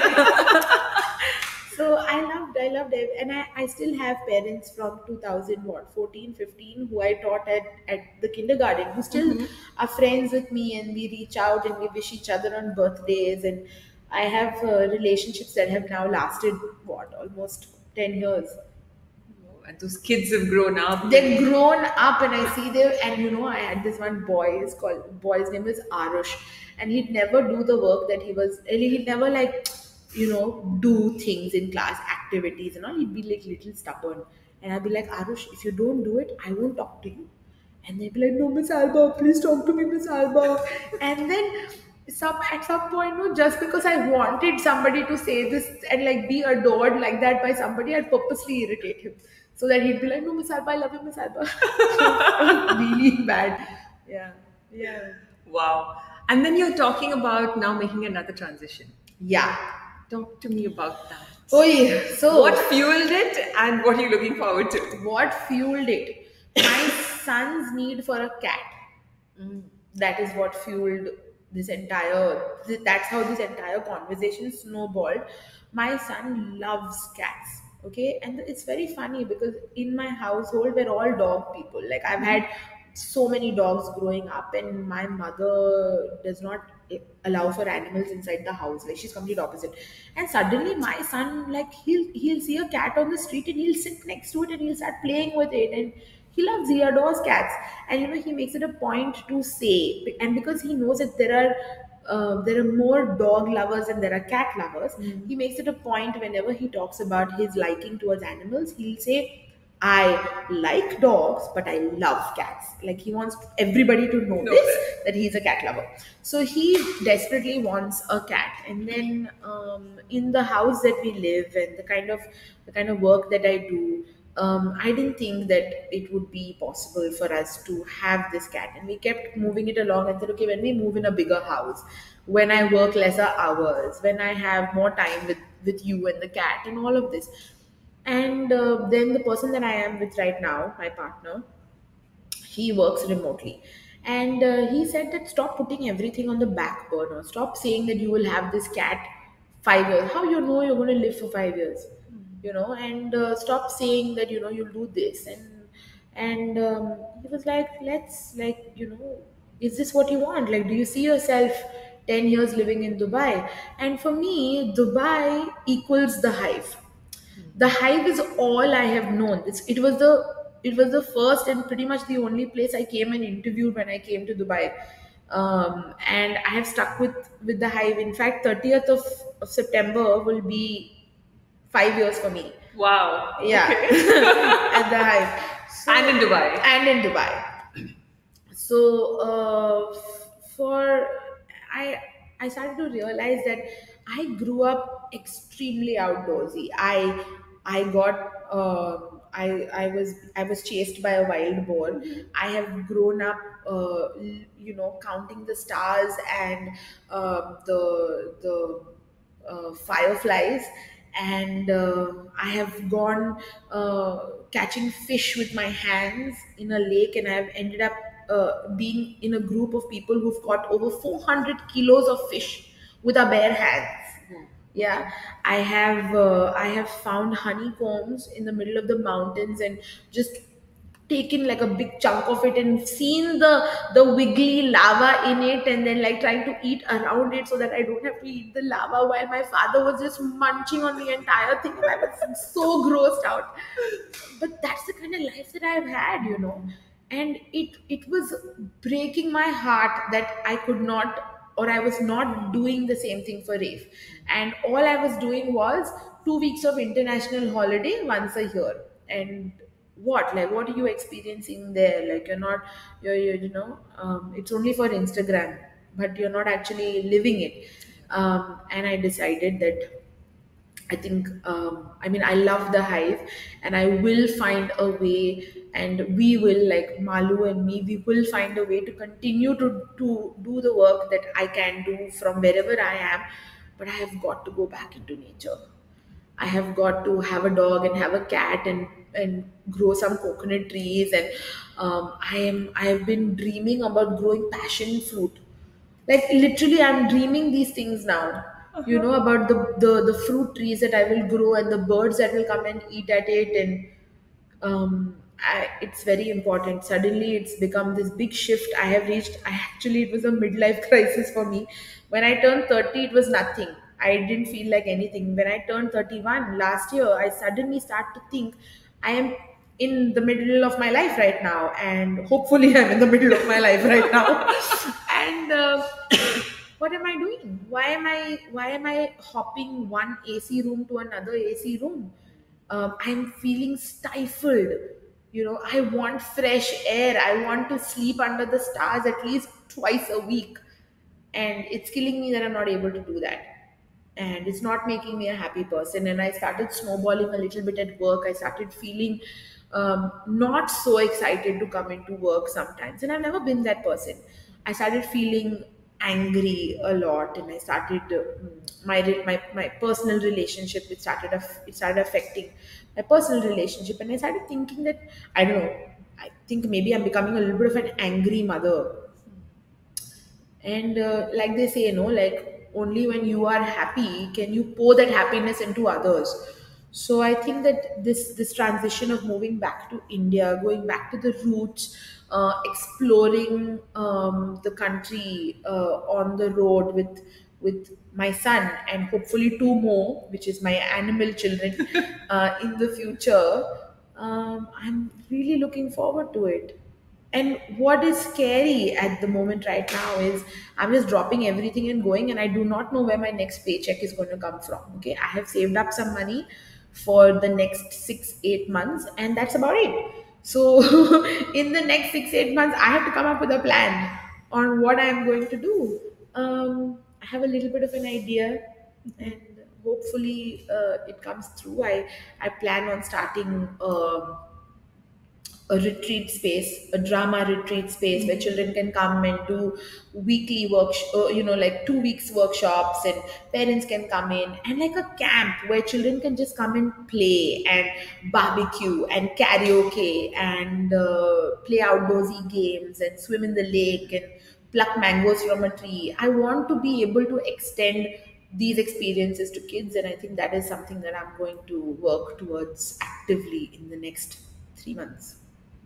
That sounds awesome. And I want you to extend it not only for kids, but also for Huh. adults. So Yes. everybody, I think everybody needs to play. Yeah. Have that kind of playful spirit in. yeah this plucking mangoes yeah like it's it i think plucking mangoes is one of my fondest memories from my childhood i once we were living in that same beach uh, town that i was telling you. And my mother had just left us there for a month for the entire month of may and she'd gone back to bombay and she was working and i was living we were living there.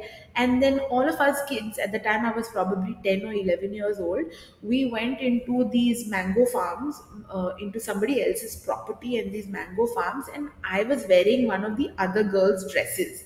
I never wore dresses but for i was just like being the local person uh, like you know living them their life. And i was wearing this dress and i these boys had climbed up the trees and i was standing with the dress holding the dress skirt up and like you know positioning it wherever the mango was going to fall. And then I then my entire dress was full of like some 20 mangoes. And that's when the the watchman of that area figured that we were like we were like seven eight of us there and we were creating this kind of ruckus and he came running chasing us with this big bamboo. And all of us kids started running. And me and the other girls were the ones who were holding on to the mangoes right? So we were running now with 20 mangoes in each of our dresses with this guy with a bamboo running after us. It was really bizarre and, but it was so much fun. And it sometimes it breaks my heart to think that the kids today their summers are basically video games and play dates and pool parties and pizza parties and it I don't know. I'm, I'm I'm a little bit of an old soul, you know. I feel like you've got to be outdoor, yeah. You've got to enjoy the nature. When I went now in August, I saw fireflies after a decade and I was like literally sitting there waiting for my eyes to adjust with the light. And I could not wait to be mesmerized by what I was going to see. I already knew that they were there, but you know how sometimes your eye takes time to like adjust with the light. And then I was I was so excited to see it. And the, I, I and I and after that experience I've spoken to like multiple parents and children, and some of them have told me they've never seen a firefly. And I'm like, what? What is this life you are living? No, you've got, when I set my place up, you are going to come and you're going to stare at a coconut tree and you're going to look for the fireflies. If that is the only thing you do that day, you will do it. That's most magical. yeah, it's really something. I got Rafe also to sit next to me and we were just sitting quietly and watching it and you know and i didn't know whether he was actually seeing what i was seeing or he was just telling me haha i see it but then later i could see that excitement that yeah something what what is that what is that and you know it's, it's really amazing yeah I think nothing can replace that kind of amazement and wonderment that yeah see, yeah right? I really wish you all the best Thank on you. that journey. thank you And like I said, I need you to document it because I think a lot of us will want to follow you on the whole journey because it's something that um, I can vouch for many people that they look and say, wow, I want to do that too. yeah And just thinking that you've taken that first step itself is, wow, very inspirational. yeah So we are going to follow you. Yes, and I- I'm going to start blogging. I started my, I've tried to figure out how to start uh, WordPress and whether to choose WordPress.com or WordPress.org is currently the biggest dilemma in my life. it doesn't matter. Trust me, it doesn't matter. Just document it however you want. and Yeah. We're going to follow you. Yes. But you need to tell us about the wild boar. You mentioned it twice, but Wild you've not boar. told the whole story. Okay, so we, I was, we were in this, um, this uh, wildlife uh, retreat sanctuary sort of a situation, somewhere a few hundred kilometers between Mysore and uh, Bangalore and Ooty. Okay, and my my family and my dad's side of the family, every year they would do a trip like this, where pura like my dad's five sisters and the brothers would all bring their families together and they do this one together situation. Um, and we were at this uh, that was called tiger tiger ranch. Okay we were there and uh, of course i had cousins who were a little older than me also but they were all sitting and eating their dinner and uh, my somebody said ki okay alba you finished and all. You take some of the kids and go to the room and go to sleep. And there were these cabins that were like a good 200 300 meters from where all the adults were sitting and eating their food. And this place is very dimly lit because it's it's um, uh, you know a naturalistic place and they want that that vibe and all. it was very dimly lit. And where i'm walking with somebody i can't remember which who that child was till today i was walking with a child on my hip i was myself maybe 10 11 years old walking with a child on my hip and there are another two three kids with me and there was a younger cousin of mine and, and we're walking towards the cabins and suddenly I see a stiletto of this animal. I don't know what animal, who it is, what it is, I don't know, but it's almost as tall as I am. And that freaked me out, and of course, it freaked the other kids out, and we all started screaming. And that animal started to growl like literally like growl at us and i took I was holding on to whoever I could, and I started running towards the cabin. And I tripped and fell, and I scraped both of my knees really badly. And I picked up somehow, and I continued to run. And we've gone into this cabin, and I'm holding the door shut while everybody else. I think there were four other kids. I can't remember how who all. But there were four other kids at the time, and they've all gone, and they've hid under the bed while I'm holding onto the door. And I have peed my pants while holding the door shut because I was so scared and then this animal comes and it starts hitting at the door okay and i can hear the thuds and i can hear the scratches and i'm just yelling and shouting and everybody is shouting. And i'm like oh my god this is the day i'm going to die. I'm going to get eaten up by whatever that creature was. And i didn't know yet what it was. Eventually some staff old this one old staff uncle who's over there comes with like this lantern and he hears all of us screaming right? And i'm still holding onto the door and i'm just shaking and he knocks at the door and i'm like okay if it's knocking Should be some. it should be somebody else. It can't be. I don't think that this creature can knock. Then I like slowly opened the door, and um, uh, he's he's asking me, you know, what happened, and I said so and so happened, and uh, he was like, oh, that must be the wild boar. So you know, there is this one wild boar that we feed, and it must be him, and you must have scared him with shouting. That's why he reacted like this. And I was like, what the hell? Yeah, I, I almost lost my life and I died of a heart attack, and you are telling me that I scared it. yeah, but that, that trip was so amazing. I remember seeing wild horses on that trip. Um, and then I started running and chasing them. And then at one point, I was running amongst the wild horses and you could tell they were wild. They were not groomed. They had hair that was very long and the tails were so long and their mane was so long. And my dad said that those are wild horses and slowly very slowly tried to creep up to the hill that they were. And then at some point they realized that i was also there. And then they started to run. And i was i was such a daredevil. I had no idea of what the consequence of running after a wild horse could be. It could come and could knock me out, it would give me a nice kick. I didn't think of any consequence. I just started running with them. That is an exciting story. Yeah. Um, and, I, and I'm thinking that you're hoping that Rafe will also start Have these kind of experiences. and stories that yeah, yeah. I uh, be able hope to say. that is that is one thing. You know, yesterday I was reading something and it said a mother mother was saying to the child that um, I hope you don't. Uh, I hope not not a lot happens to you. And then she corrected herself and she said, No, I hope that a lot happens to you, but it's all good.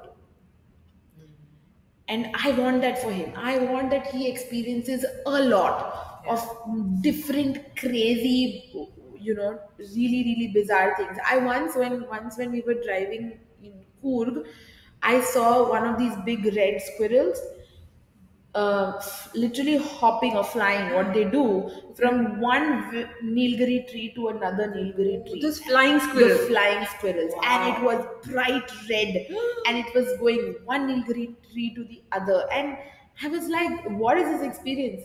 And I love going to national parks. This one time, I was in a national park, and we were sitting very quietly by the water hole, waiting for a tiger or whatever to appear, and then suddenly we hear the crunching of like something. Mm. Okay some bones or whatever. I don't know. At the time i didn't know what it was. I just heard some some noise of like something snapping. And we looked carefully and there was this giant python that had caught hold of an egret which is that white bird Yeah. with the long yellow legs mm-hmm. had caught hold of an egret and was devouring it. And the crunching that i was hearing was the bones of that egret Ooh. and I got photos. I have actual photos of that python holding its mouth open like this and like holding on to that egret. I would love to see that. I'll show you. I'll, I'll share it with you. Please. Yeah. So I want to go back to that. I want to go back to wildlife sanctuaries. I want to go back to national parks. Um, I want to take Rafe with me. I think the quiet and the calmness that you get when you're in a place like that, and you see how small you are to the world that you are in. Sometimes how insignificant you can be, really. Yeah. it really grounds you and it makes you very wary of of who you are and how what you're bringing to the table you know this one time when we were on this on this trip i could hear pecking like tuck tuck tuck tuck okay and uh, the, the the the tour guide said that those are uh, these woodpeckers. And i could hear them but i couldn't see them and I could hear them from almost half a kilometer away. That's how hard they were pecking. Okay, hmm. and eventually we waited, waited, waited, and then the they came in, and it was like at six thirty-seven in the morning, and you know this the light, that little, and I could see the silhouette of it going, and it's one of my most fondest memories of these two wood, woodpeckers just going for it on a tree in Ranthambore, and uh, it's also um, I- and I kept and at that time Rafe was already like he was he was already a part of my life, but I had left him back home because you have you know you can't have like babies come in. I think he was two at the time, and while I was experiencing this, I was like, oh, I wish Rafe could experience this. And I want, and we did see a woodpecker when, when, and we did hear a woodpecker, and we saw it peck at the coconut tree when we were in, uh, in Varkala in August and i want more. I want i'm so greedy for these experiences. I want every day to be like some experience or the other ah. in nature. And i want this so badly for Rafe. i will move mountains if i have to for him to have the same for, for him to have experiences like this. Wow. and i will do the same for any child i know. Now you know i have been saying this okay to children left right center and to parents in the last two three weeks that put your child in the flight in dubai. I will pick them up in trivandrum and i will keep them with me for the entire summer if you choose to. And i think I, i'm feeling very passionate about it. And i and you know i know these kids and i know their parents and i and i hope and pray that they feel safe enough to be with me and live with me. But i want these kids to have these experiences. And i'm i think that is going to be my my my motto now is to have children do this. Have barbecues in the open air and fish on you know my dad used to take us fishing. We didn't have like fancy fishing lines and all okay? He'd basically just take that that the fishing line wrap it around one piece of wood Uh-huh. and he'd put like some bait in it and he'd just throw it and we'd be just sitting there waiting. That was our fishing rod. That's all like we didn't Not the fancy ones that you- Never. I don't think I saw a fancy fishing rod till my ex-husband bought one. I never saw one. That was at some point we'd, we'd have like one nice sturdy wood, like a long branch, and we tied to the tip of that long branch. That was the extent of fanciness. of the fancy. yeah, that was a luxury to be able to find a piece of branch like that. Ah, Yeah. and you want to sit and fish like that. I want to sit and fish like that, and I keep thinking that if my drama or my all of these plans that I have, if they don't work out, uh, because you always have to have a plan B. My plan B is I will start fishing. I will become a fisher folk. I will, or I will become an Uber driver. I mean, uh, I will figure it. I keep joking, you know, in class also when we talk about what are the things you like to do and all. And I love to drive. I love long drives. So I keep telling kids that if I was not a drama teacher, my next set of skills is I think I'm a good driver. So then probably I'd be a driver. and you know, like that's how that's how lightly I take life sometimes. Oh, beautiful.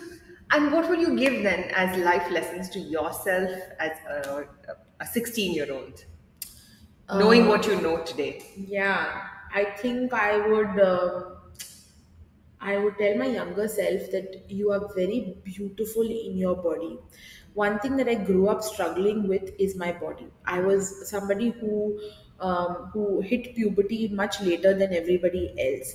So I would always look in the mirror and I would look at other girls and I would compare that I had not, uh, you know, formed my womanhood as much as they had, and it and and and you know, and people, boys and girls would mock me for it, and you know that's how kids are, right? Yeah. Um, and that I and that I uh, hold I held on to for a very long time in my life. So I think I would say that just I, I would tell myself that you're so beautiful like you know like don't don't worry about not having formed your breast yet it does not matter it's it's, it's literally of no consequence to your life um, so yeah I, I would say that I would say um, learn sooner how to forgive. That's something I struggle with when um, I don't put too much of expectations into people uh, because of the the the family that I grew up with, my parents and their divorce and all. I've always been wary about the relationships that I form, and um, when I form them, after putting down multiple walls when i form them i expect them those relationships to be the the all of all. You know i expected a lot from my ex-husband. I expected a lot from my father. Um, and when you expect a lot you get highly disappointed. And then once you're highly disappointed you do not you refuse to forgive. And i have found it very hard to forgive people and um, i'm learning now how to forgive and how to just let it go. It's fine. I'm still learning. I'm still learning how to do that. I'm still learning like sometimes when i'm with my son and if i'm if i'm angry about something i snap back. I'm a little bit of a short tempered person like that. And uh, i have been trying to make it a practice that before i respond to something i should take 10 breaths and just calm down because my son is very sensitive and he's extremely emotional and i realize that even if i just slightly snap back at him also it takes him by surprise because that is not who i am usually and then when suddenly i become this person he doesn't know what to do with me and i have told i have starting to tell myself that i've got to be more wary of um, of not letting my emotions take over so much And the impact that it can have. on others. Yes, I have also come to realize that, um, oh, you know, I, I joke about this with my team that hmm. every time I come closer to a production when we're doing our theater festival, I become this other personality. Okay, and I I apologized for being this person two weeks in advance with everybody, with the new people, with the old people on the team, with the kids in the class. I'd be like, listen, you're going to have to deal with a very different Alba in two weeks. So brace yourself and be better and do better. I keep saying this to everybody, and then the everybody got a little bit of the, a taste of who I was, and I was being very difficult. And of course, at this point in June when I did the festival, the 2023 festival, I was burnt out. I was I was ready to move country, and I wanted that nature, and I wanted a break, and I wanted more time for myself, and I was already giving out of you know, out of a well that did not have anything. So I was not being very nice to myself, and I was definitely not being nice to the people around me. And somebody from my team at the last day of my of the festival told me, Alba, why do you have to be so angry all the time?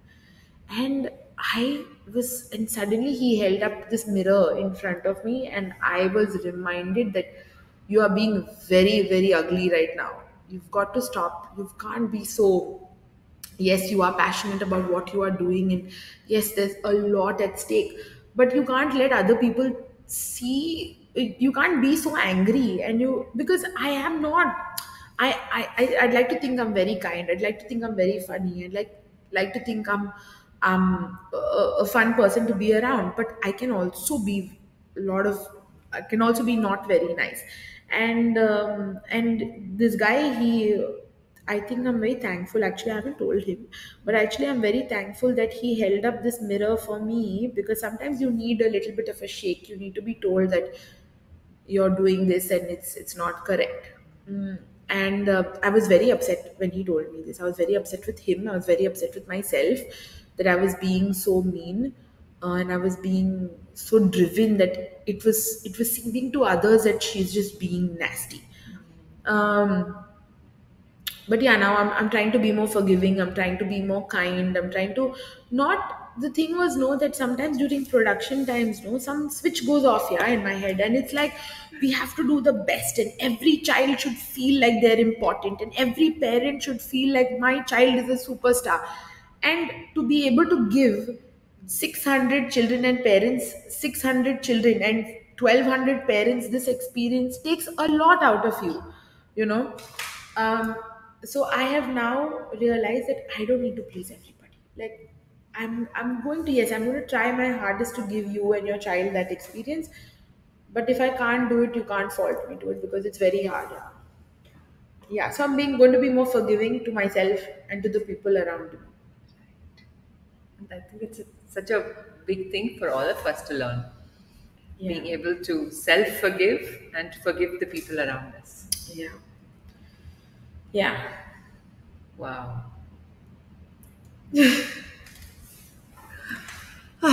that touched me somewhere. uh, so now let's go into the books, Okay. the world of books. Yeah. And uh, I want you to tell what are the books that you recommend across genres. You, we've already covered a couple of them. But uh, tell me what's on your list and must reads for people. Yeah, so my must reads uh, for younger kids, I think, is definitely the Roald Dahl series. I think a lot of these, uh, a lot of kids I know, and it's really strange because I know kids who are eight years old and have already read like Harry Potter, and then I know kids that that have not even touched the surface of a Roald Dahl. And I know that Roald Dahl books now, especially in the US, have become somewhat of a uh, of an issue. There is uh, some book bans and all that are going around and whatever. But uh, I think that they're beautifully stimulating and they're extremely imaginative and they push that that idea forward. So I think definitely kids, younger kids, should read Roald Dahl. Um, I think the Enid Blyton, the famous five, is such a great one uh, for kids to have. My son loves Captain Underpants by Dav Pilkey. He loves them, okay? And he, I find him sometimes sitting in the corner of a room and he'll suddenly start laughing so loudly. And he chuckles, and I look at him and I'm just like, oh wow, to be able to be able to be moved like that by a book. It's such a joy. Um, and sometimes they like they talk a lot about like poop and like underwear and all this, and it, it can be very silly, and sometimes parents think that it's a little too much. But i think it keeps things silly.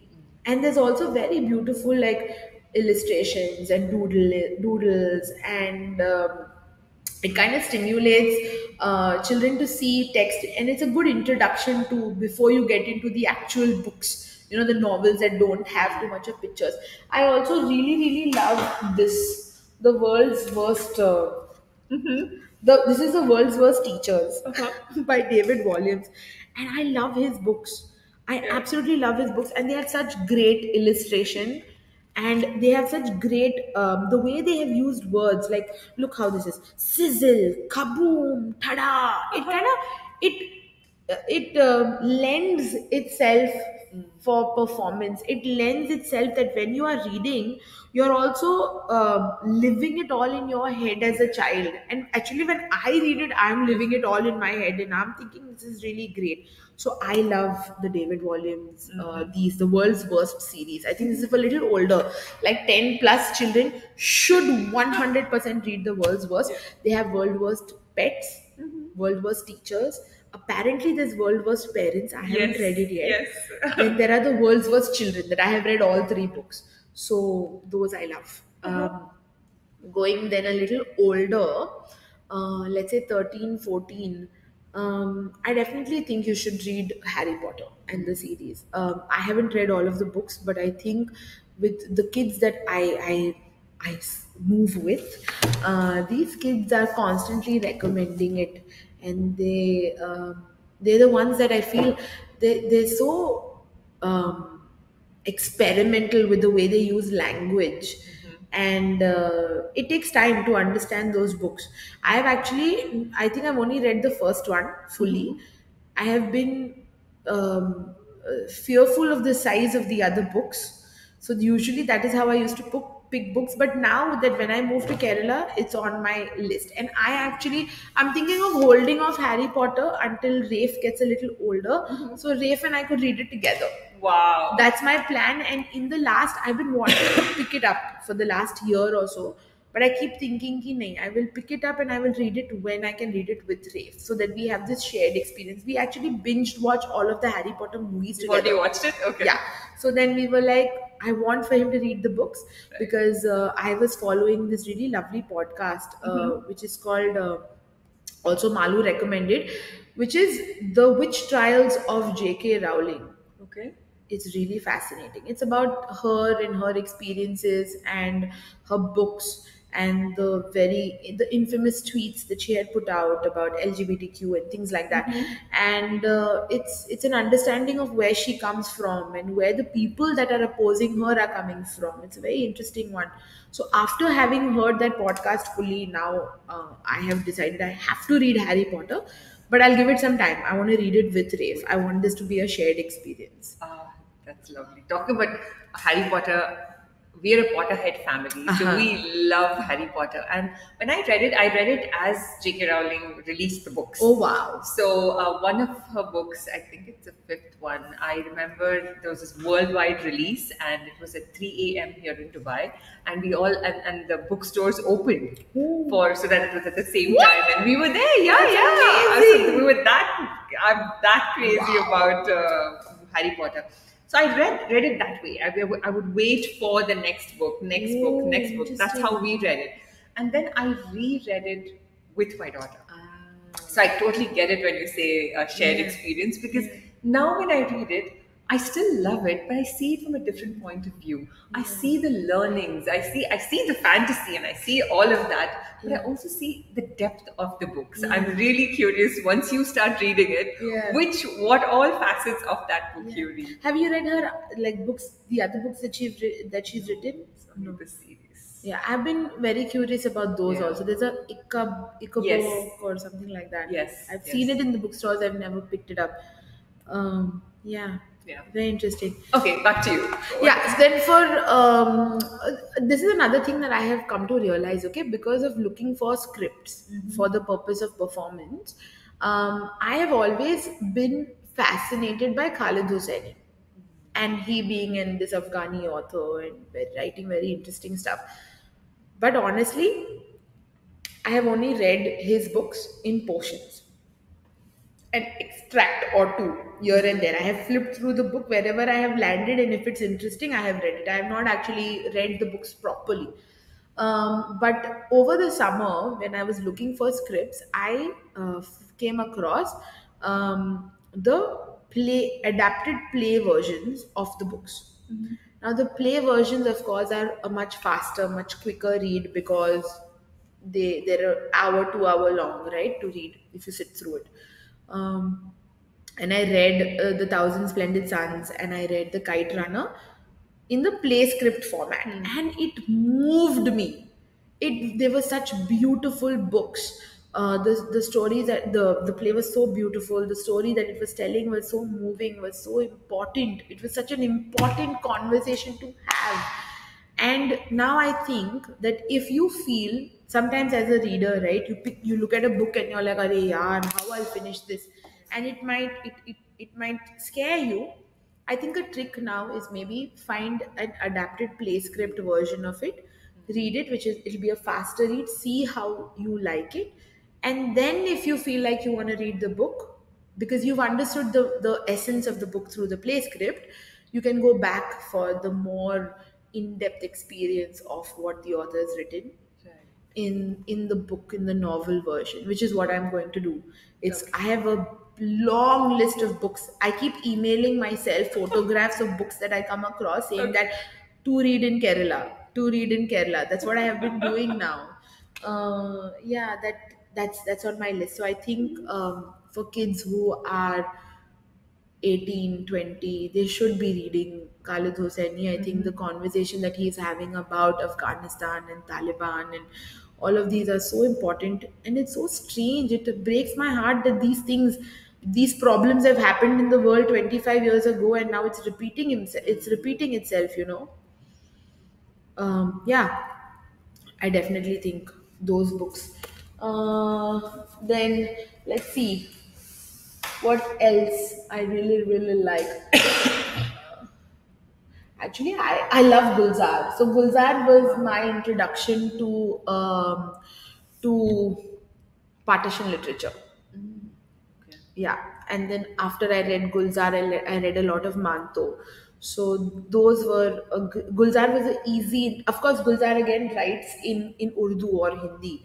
So his books are usually adapted by somebody else in English, and uh, I had this one very interesting book where it was Gulzar's actual written Hindi and then the adapted English version of it. So I would read the English version and then I would try very hard to read the Hindi version because I'm really bad at reading Hindi. But uh, that was also very nice uh, one for me partition literature to in, an introduction into partition literature now i think off lately there are there are a lot of books that that uh, there is um, if i'm not wrong uh, something malhotra i will send you the name of this author. And i'm going to that She her books are also on my to read list. Okay. uh, she talks uh, i know the the essence of the books because malu has read it and she's asked she's recommended it to me.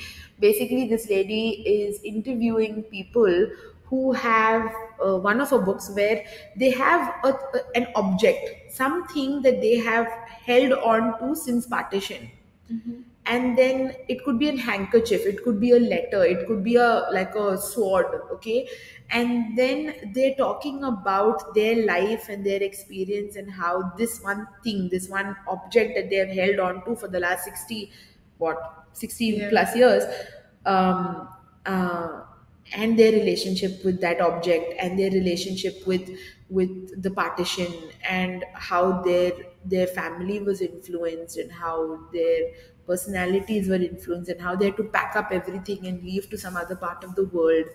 So those that one's an interesting one. I will tell you what the name Okay. is i can't remember the name of that lady. Uh, then what else? Uh, of course i love the anne i love anne frank's diary. I think every young girl every young boy uh, once they reach 14 13 14 15 they should read it i think it's very important to understand that mm, but of course i have i have now come across some studies that say that this book was not it's not actually an honest truth of what it is and it may be the case but I, I still feel that it that this book has has has, has uh, stimulated from somewhere na? Someone has had these experiences even if it was not anne frank. Um, uh, i think a lot of what we read uh, books that we read there's somebody's reality there's somebody's truth right so um, yeah, it's an important one to read. Definitely, Anne Frank should be on every child's list to read. Uh, I really love um, uh, Educated. I think her story as this Mormon individual uh, who who um, has such a dysfunctional family and such dysfunctional parents, uh, and still turns out to be somebody that you know, like when you've been told ever since you're a child that white is not white, white is black. And then eventually to be able to stand up and be like no something's not fitting right here. I should question what is happening. I think that's an important one to do. Then mothering a muslim was a book that i thought was very important. Again i can't remember the name of the author. Then there is another book called the refugees that has been written by this vietnamese author uh, who writes about different refugee um, stories. And it's fictional but it's of course inspired from somebody's truth. Again i can't remember the name of the author I'll just put all the names of the books and books link in the i will send you the names of the books and the authors. But yeah i think mm, we should actively look for books that are uh, that that not everybody in our circle are reading. Because only then there will be something new that comes up. The anxious people that i'm reading currently which is a, a swedish author um, and the author's name is fredrik backman Wow. Okay. yes. Um, uh, so his book this anxious people is such a beautiful book. Oh yes. And if you want to read a funny book and if you are above the age of 17 18 you should read born of a crime by trevor noah. Oh my god. Such a hilarious funny book uh, but so close to human experiences and i don't want to say much but this guy has lived such an absolutely funny peculiar strange difficult tough life Okay. and it's a it's something that everyone should read because when you like i did not i follow him as a stand-up comedian right and i was watching his stand-up comedy for a very long time before I actually read his book. Hmm. So I always thought of him as this funny guy, and I didn't really think too much about like what his life is. And then, of course, stand-up comedians say all these things about like you know their experience in childhood, and I, I didn't think. I thought most of these guys, when they say it's a skit, right? They're Yes. putting up, and it's not doesn't have to always be true. But when I read his memoir, I realized that this guy has lived such a bizarre life, like with his mum. Can I say a little bit? Okay. okay with his mum throwing him out of a moving bus and you know and and him not knowing where his next meal was going to come from and him not meeting uh, his father for most of his life. And it's very funny and um, it's very uh, very moving because having lived all of these experiences still being a person who can make others laugh and still being somebody who looks at life with such humor is very inspirational I would love to meet him in person. And he had actually come to Sharjah, to the Sharjah Book Festival a couple of years ago. And uh, at that time, I was crushing on him big. I was like, was like, my God, he's the love of my life. I was thinking like this. And I remember Malu saying, go and go to the book festival. Yeah? And like, see, maybe you might be able to meet him. And I said, no, yeah. If I go to the book festival, within those 2,000 people, he'd never be able to make eye contact with me and he'd never know that I'm the love of his life. I didn't go to the festival. But uh, he's, he's somebody that I really look up to. I think he's very funny despite of everything that he has had to live in his life and if you were able to do that if you were able to to have such a chalta hai khali hmm. bali my father used to say such a khali bali approach to life uh-huh. despite of having lived the things that you have then what a human you are yeah like i aspire to be like that yeah Wow. And I look forward to reading that book. Yeah, very funny. Must read. Okay. I, I, I'm I'm actually waiting to go back to India. So the thing is now I have put a, a hold. Usually, you know, I'd buy at least two or three books in a in a in a month.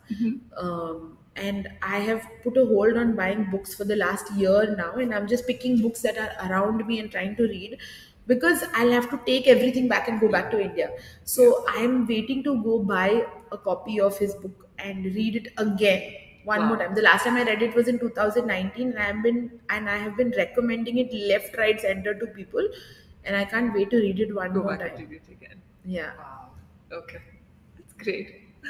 And while we talk about uh, his journey, uh, how can people follow your journey from here on? And Yeah. what's the best way to connect with you? I think the best way to connect with me is on Instagram. I my handle is uh, Alba out this and that.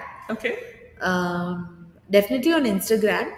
But hopefully, very soon, I should start blogging about my life and my transition from Dubai city to Varkala, and uh, and the process of buying land and building Airbnb and building a lakeside book cafe is it's all in the pipeline. So uh, hopefully I document all of this um, and hopefully it inspires others to go and live their dreams, whatever it might be, become chicken farmers if they choose to.